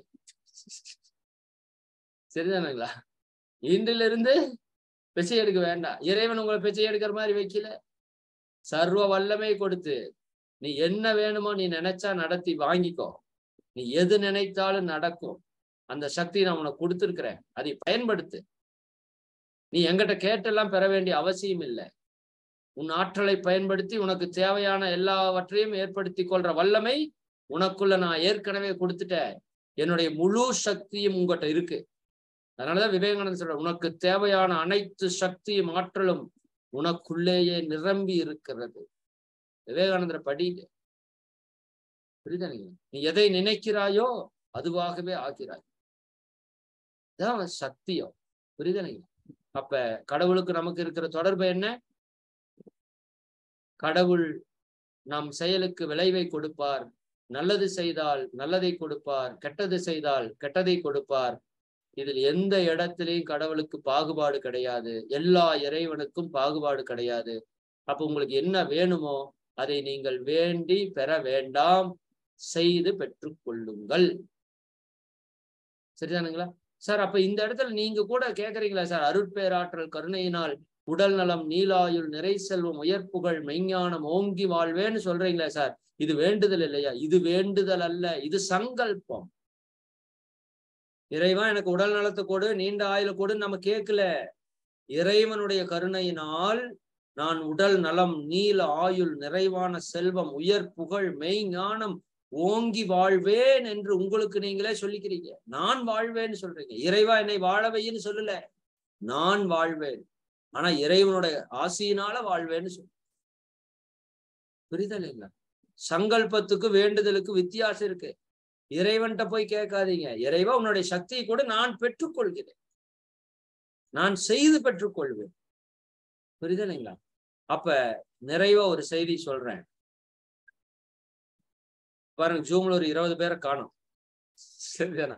காணவில்லைன்னு ஒரு போஸ்ட் அடிச்சு ஒட்டணும். வந்தீங்கன்னா ஒன்று முப்பது வரைக்கும் நிச்சயமா இருக்கணும்னு முடிவு பண்ணிக்கோங்க. பன்னெண்டு மணிக்கு வரணும் ஒன்று முப்பதுக்கு போகணும். ஒன்றரை மணி நேரம் வாரத்துக்கு நாலரை மணி நேரம் ஒதுக்க முடியாதா? புரியுதுங்களா என்ன சொன்னாலும் சரி அது உங்களுக்கு பிடிக்குதோ பிடிக்கலையோ? உங்களுக்கு சந்தோஷத்தை கொடுக்குதோ துக்கத்தை கொடுக்குதோ? சரிதானா? ஆனா அதுல உட்காரன்னு முடிவுல வாங்க. சரிதானுங்களா? இந்த வைராக்கியம் வேணும் நமக்கு. சரி அப்ப என்ன சொல்றேன் நானு? உங்களுக்கு உடல் நலம் போயிருச்சா? தெரிஞ்சோ தெரியாமல ஏதோ தவறு செய்து உடலை கெடுத்து வச்சிருக்கிறோம். கரெக்டா கரெக்டுங்களா இப்ப அந்த கெடுதலை மாற்றி அமைத்துக் கொள்வதற்கு தான் பயிற்சி. உடற்பயிற்சி செஞ்சா உடம்பில் இருக்கிற பாவப்பதிவுகள் நோய்கள் உங்களை விட்டு ஓடும். உங்களை விட்டு ஓடும். உயிர் பயிற்சி காயகல்பம் செய்தா பரம்பரை பரம்பரையாக உங்களுக்கு வந்திருக்கிற நோய்கள் எல்லாம் ஓடும்.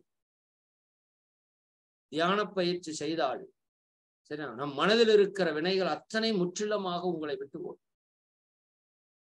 அப்ப நீங்க பயிற்சியை செய்து பலனை பெற்றுக் கொள்ளுங்கள். யாருகிட்ட எதையும் கேட்க வேண்டாம். சரியாங்களா அப்பேற்பட்ட பயிற்சியை யோகத்தை ஞானத்தை தான் நம்ம பெற இருக்கிறோம். அடுத்த வகுப்புல இன்னும் நம்ம வந்து டீப்பா இதை பத்தி நம்ம பேச போறோம். மிக முக்கியமாக நான் என்ன சொல்லணும்னா அடுத்த வகுப்பு உங்களுக்கு இன்னைக்கு வந்து பதினொன்று தேதி வெள்ளிக்கிழமை. பனிரெண்டு சனிக்கிழமை பதிமூணு ஞாயிற்றுக்கிழமை. நம்ம சென்னையில மகரிஷி அவர்களுடைய நூத்தி பதிமூணாவது ஜெயந்தி விழா பிறந்த நாள் விழா ஆகஸ்ட் பதினாலுங்க. திங்கட்கிழமை வருது. ஆகஸ்ட் பதினாலு. ஆகஸ்ட் பதினைந்து இந்திய சுதந்திர தினம். ஆகஸ்ட் பதினாலு உலக ஆன்ம சுதந்திர தினம். நான் வச்சிருக்க பேர். இந்த உலக மக்கள் அனைவருக்கும் இந்த ஆன்ம சுதந்திரத்தை வழங்கக்கூடிய ஞானத்தை வழங்கக்கூடிய மகானுடைய அவதார திருநாள். ஆகஸ்ட் பதினாலு.